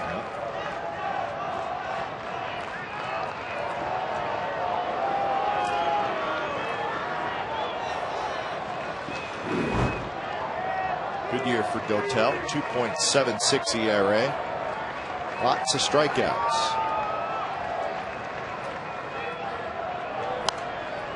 There's that fastball, and he will challenge. You know, it's kind of a sneaky fastball because it is pretty much a four seam fastball. Kind of slings it, lets it go with mid 90s velocity. It's got to be very sneaky because the hitters seem to be a little bit late with their swing.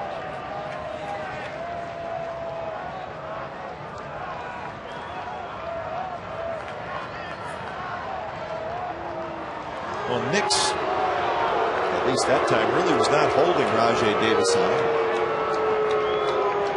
Could have been a situation where he knew Dotel was not going to pitch to the plate. He was just going to hold and hold. Sometimes that's good way to hold the runner on, actually. This one's popped up. It's going to reach the seat. So the count one and two. Well, so far the White Sox have been successful keeping Rajai at second because ideally, I think he's had the opportunity to steal third. So Kurt Suzuki could drive him in from third base, but he has not attempted in the three pitches.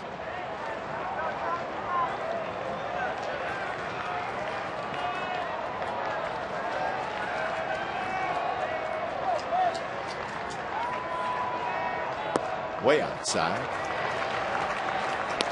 Suzuki 0 for 3.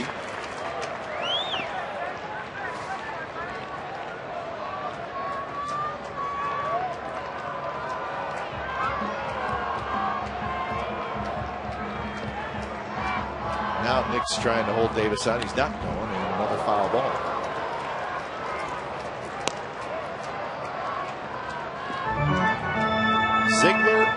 Bailey warming up for the A's. When you figure with the velocity of Dotel,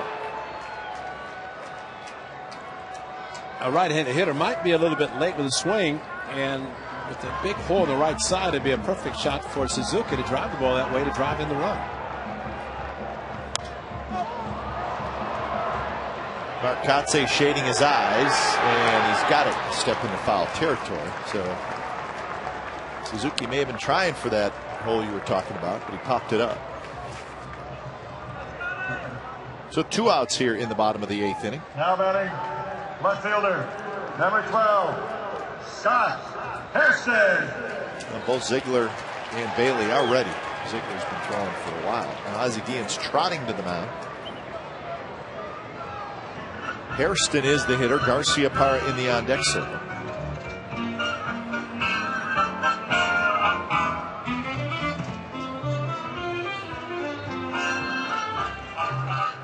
Ray, if that conversation right there had anything to do with Rajai Davis. In other words, let him go. Yeah. Runs, let him go.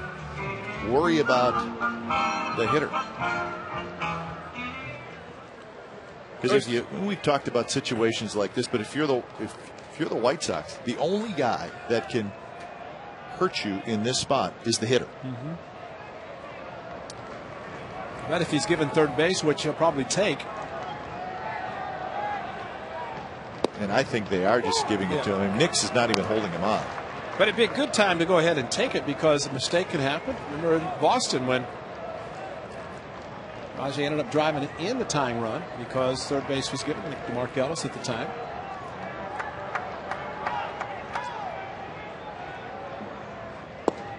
just a bit low. One and one to Scott Hairston, who had a base hit in the second. He's also got a fly ball to right field and a fly ball to center field. Maybe Rajai is just waiting for Scott Hairston to turn on one of Dotel's fastball and make it a 3 2 game.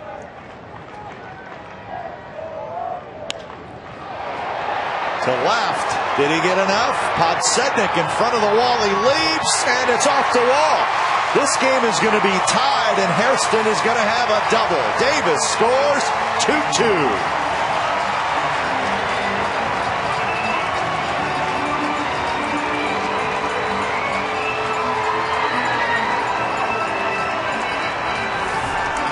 Scott Hairston, I think he wanted the whole thing. It's a hanging slider.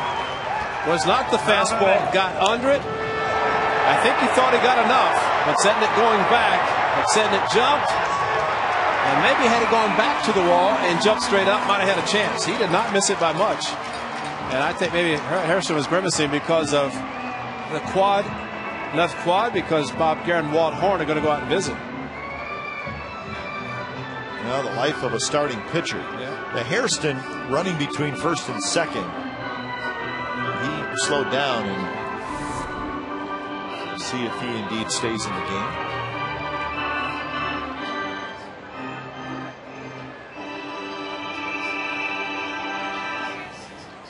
Well, an important run, obviously, at second with two outs. Bob Geren wants to make sure he's okay to run because he is the go ahead run. Ryan Sweeney, of course, would be ready. And you know, Scott Hairston does not want to come out and take the chance of missing playing against his brother tomorrow night. It's three games against the Yankees.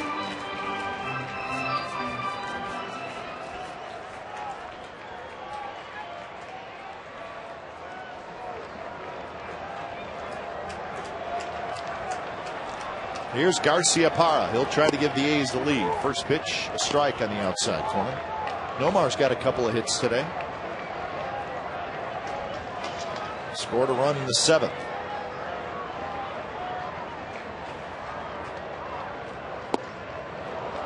So both starting pitchers good this afternoon, and both will go home with a no decision.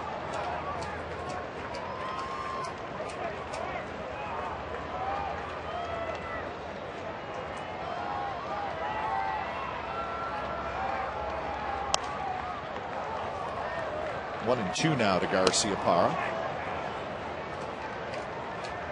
White Sox will have Ramirez, Kotsay, and Nix, the three scheduled hitters in the top of the ninth inning.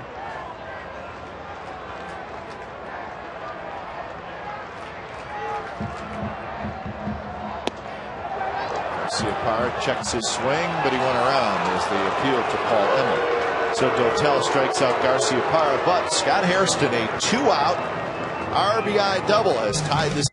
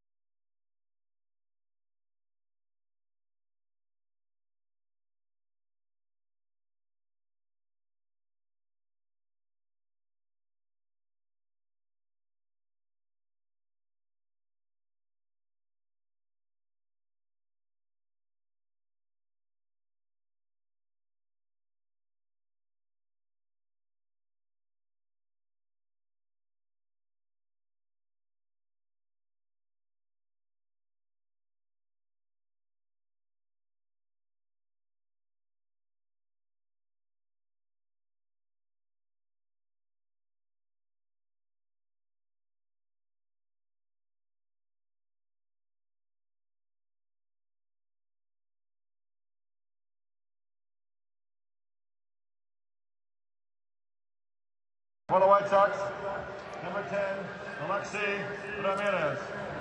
So we now have a tie game, 2 2, top of the ninth inning. So the A's will bring in Andrew Bailey.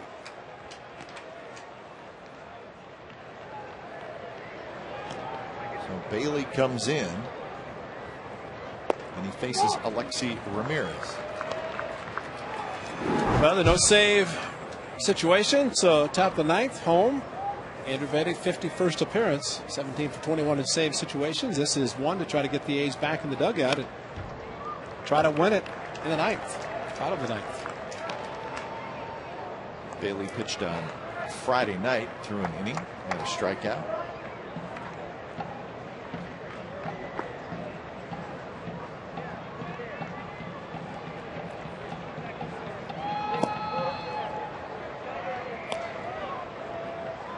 Scott Hairston has stayed in the game. He's in left field.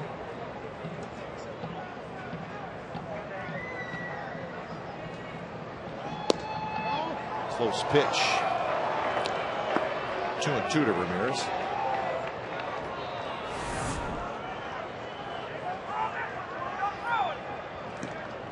Well, the cutter, hard to believe that missed the strike zone. High pop up. Everidge near the seats, and it's into the seats.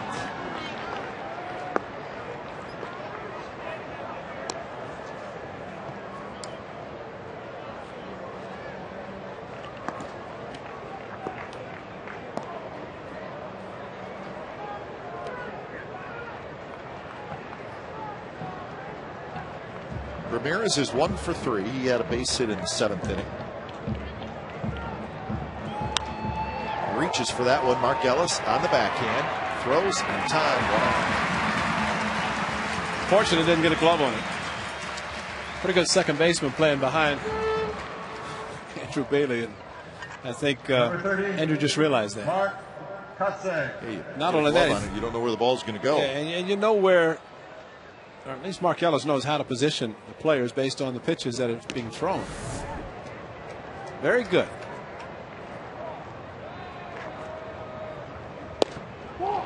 Kotsay takes outside. Mark Kotsay a single in the third, a double, and a run scored in the sixth. And then he had a sacrifice bunt in the seventh.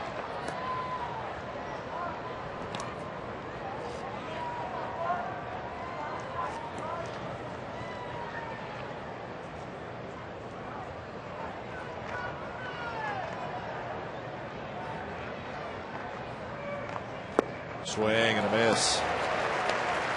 One and two. And that's where it's hard to believe if you're hitter facing Andrew Bailey. You know he's a closer. I figure he's going to be throwing fastball, cutter, slider, but then here comes a 12 to 6 curve. A totally different pitch from a closer.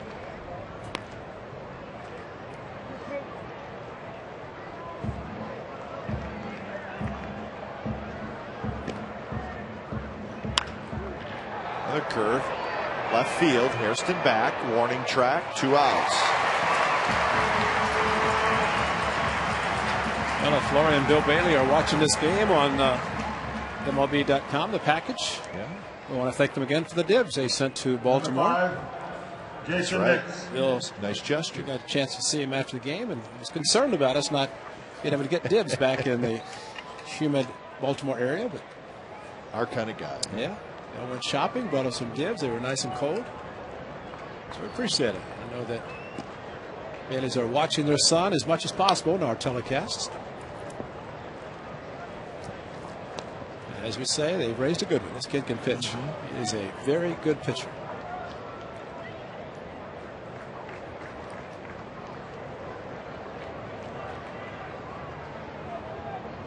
Jason Nix is the hitter. So one and one now to Nix, who was 0 for 2. He had a sacrifice bunt. Most strikeouts by a relief pitcher in the American League. And not just rookies. Not just Yeah. rookies, that's right. Strike call, one and two.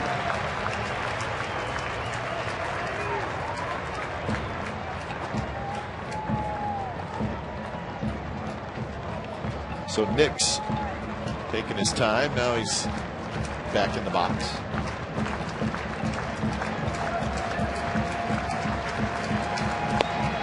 Breaking pitch stays high to even the count at two and two.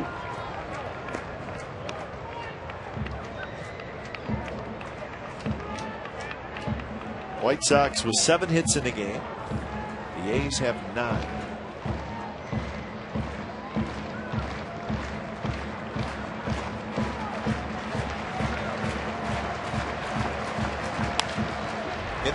Crosby's got it. Throw to first is no. They call him safe. Bob Geren's coming out. Paul Emmel called Nick safe at first. I hope they play by Crosby. I hope they say don't say that Tommy Everidge came off the bag too quickly. He has a tendency, as a lot of first basemen will, once there's going to be a close play. But Bobby Crosby, with the bounced ball, I mean, still got there very quickly in the stretch. Oh wow! Not even close. And isn't it amazing that they go back to Baltimore and Ted Barrett on a similar play? And he never touched first base. Yeah. Wow. We were worried that Everidge did Nick's touch first base. Looked like he hit right in front of the bag, but regardless, he's in the air. Barely got the front edge of it, but clearly he's in the air, and the ball is in the glove of Tommy Everidge. Now, the only thing you can think that Paul Emmel was thinking the ball is bouncing, it's going to get there slower, but they hear the the ball going into the glove and the foot hitting the bag, and that wasn't even close. Now batting, number 22, Scott Podsednik. So the White Sox Still alive here in the ninth, and now Scott Podsednik will step in. Podsednik one for four. Takes inside.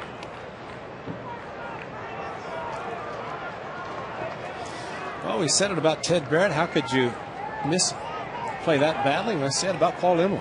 Not even close. Wow.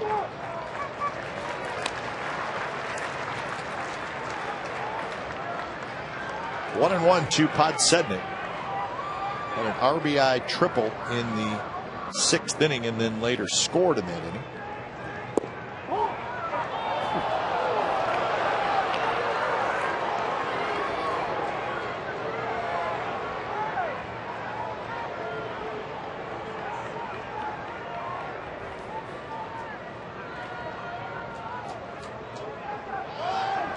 Nix goes.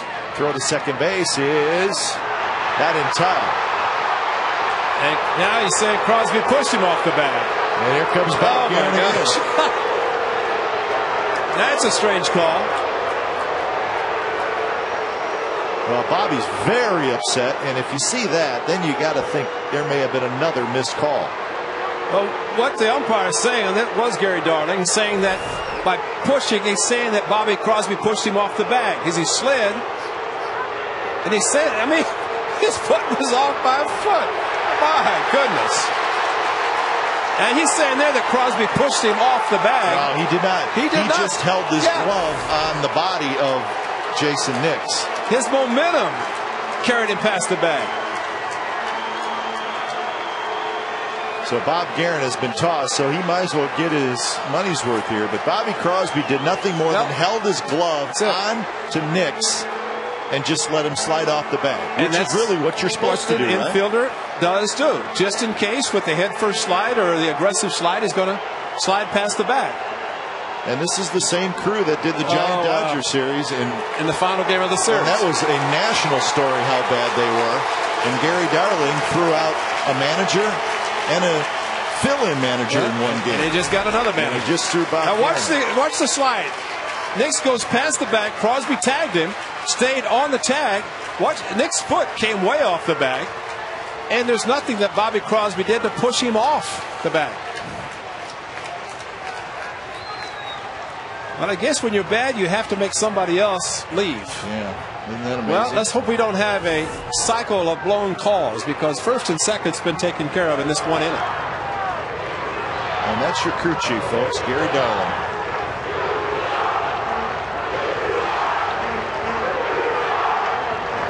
I thought the crew chief was supposed to be the best umpire. I think so. So it's 3 1 to Podsednik, and the go ahead run is now at second base. And there is a strike to make it a full count. So big pitch here. Gordon Beckham is in the on deck circle.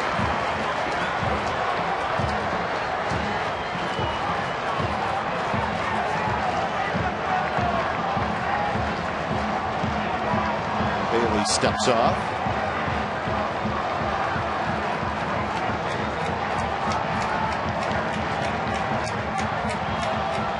The pitch, swing and a miss. He struck him out. So Bailey works his way out of the jam, and no damage done. Thank goodness. Bottom of the ninth coming up. We're tied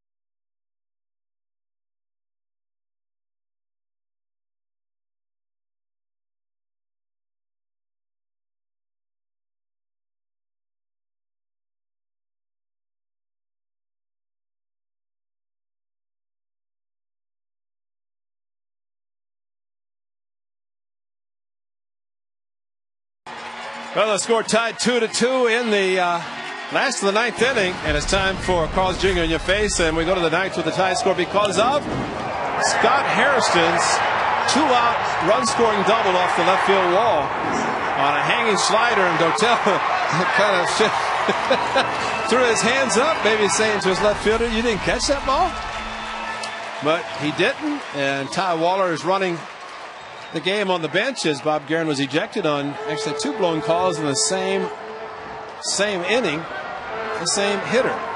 Hitter going to first base and Nix, and then Nix going to second. So Bobby Jenks, the White Sox closer, comes in. And the first pitch is drilled to left center, but in the ballpark. Rios grabs it. So Crosby goes after the first pitch and flies out one out.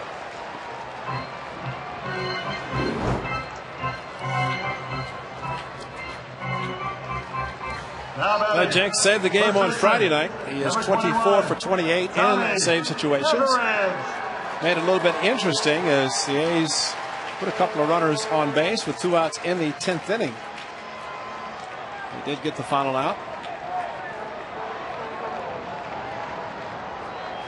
Upside you, Tommy Everidge. See if Everidge can get a hold of one. Send us all home happy. It's 0 for 3 this afternoon.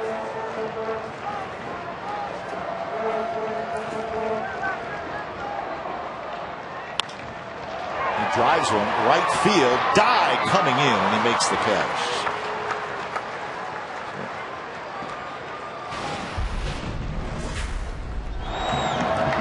Seven, Mark Ellis off Bobby Jenks. Eight for the 10th. Like Sednick, not able to catch that one either. And where's that guy? Who's that? Marco? Marco was on the scoring end of the walk-off. He's usually driving guys in. Or did for the A's. So Mark Ellis steps in, two outs. Ellis had a sacrifice fly in the seventh inning. That got the A's their first run. Line drive down the left field line into the corner. It's gone. It's gone. Ball game over. Ellis with a walk off, just over the wall and left.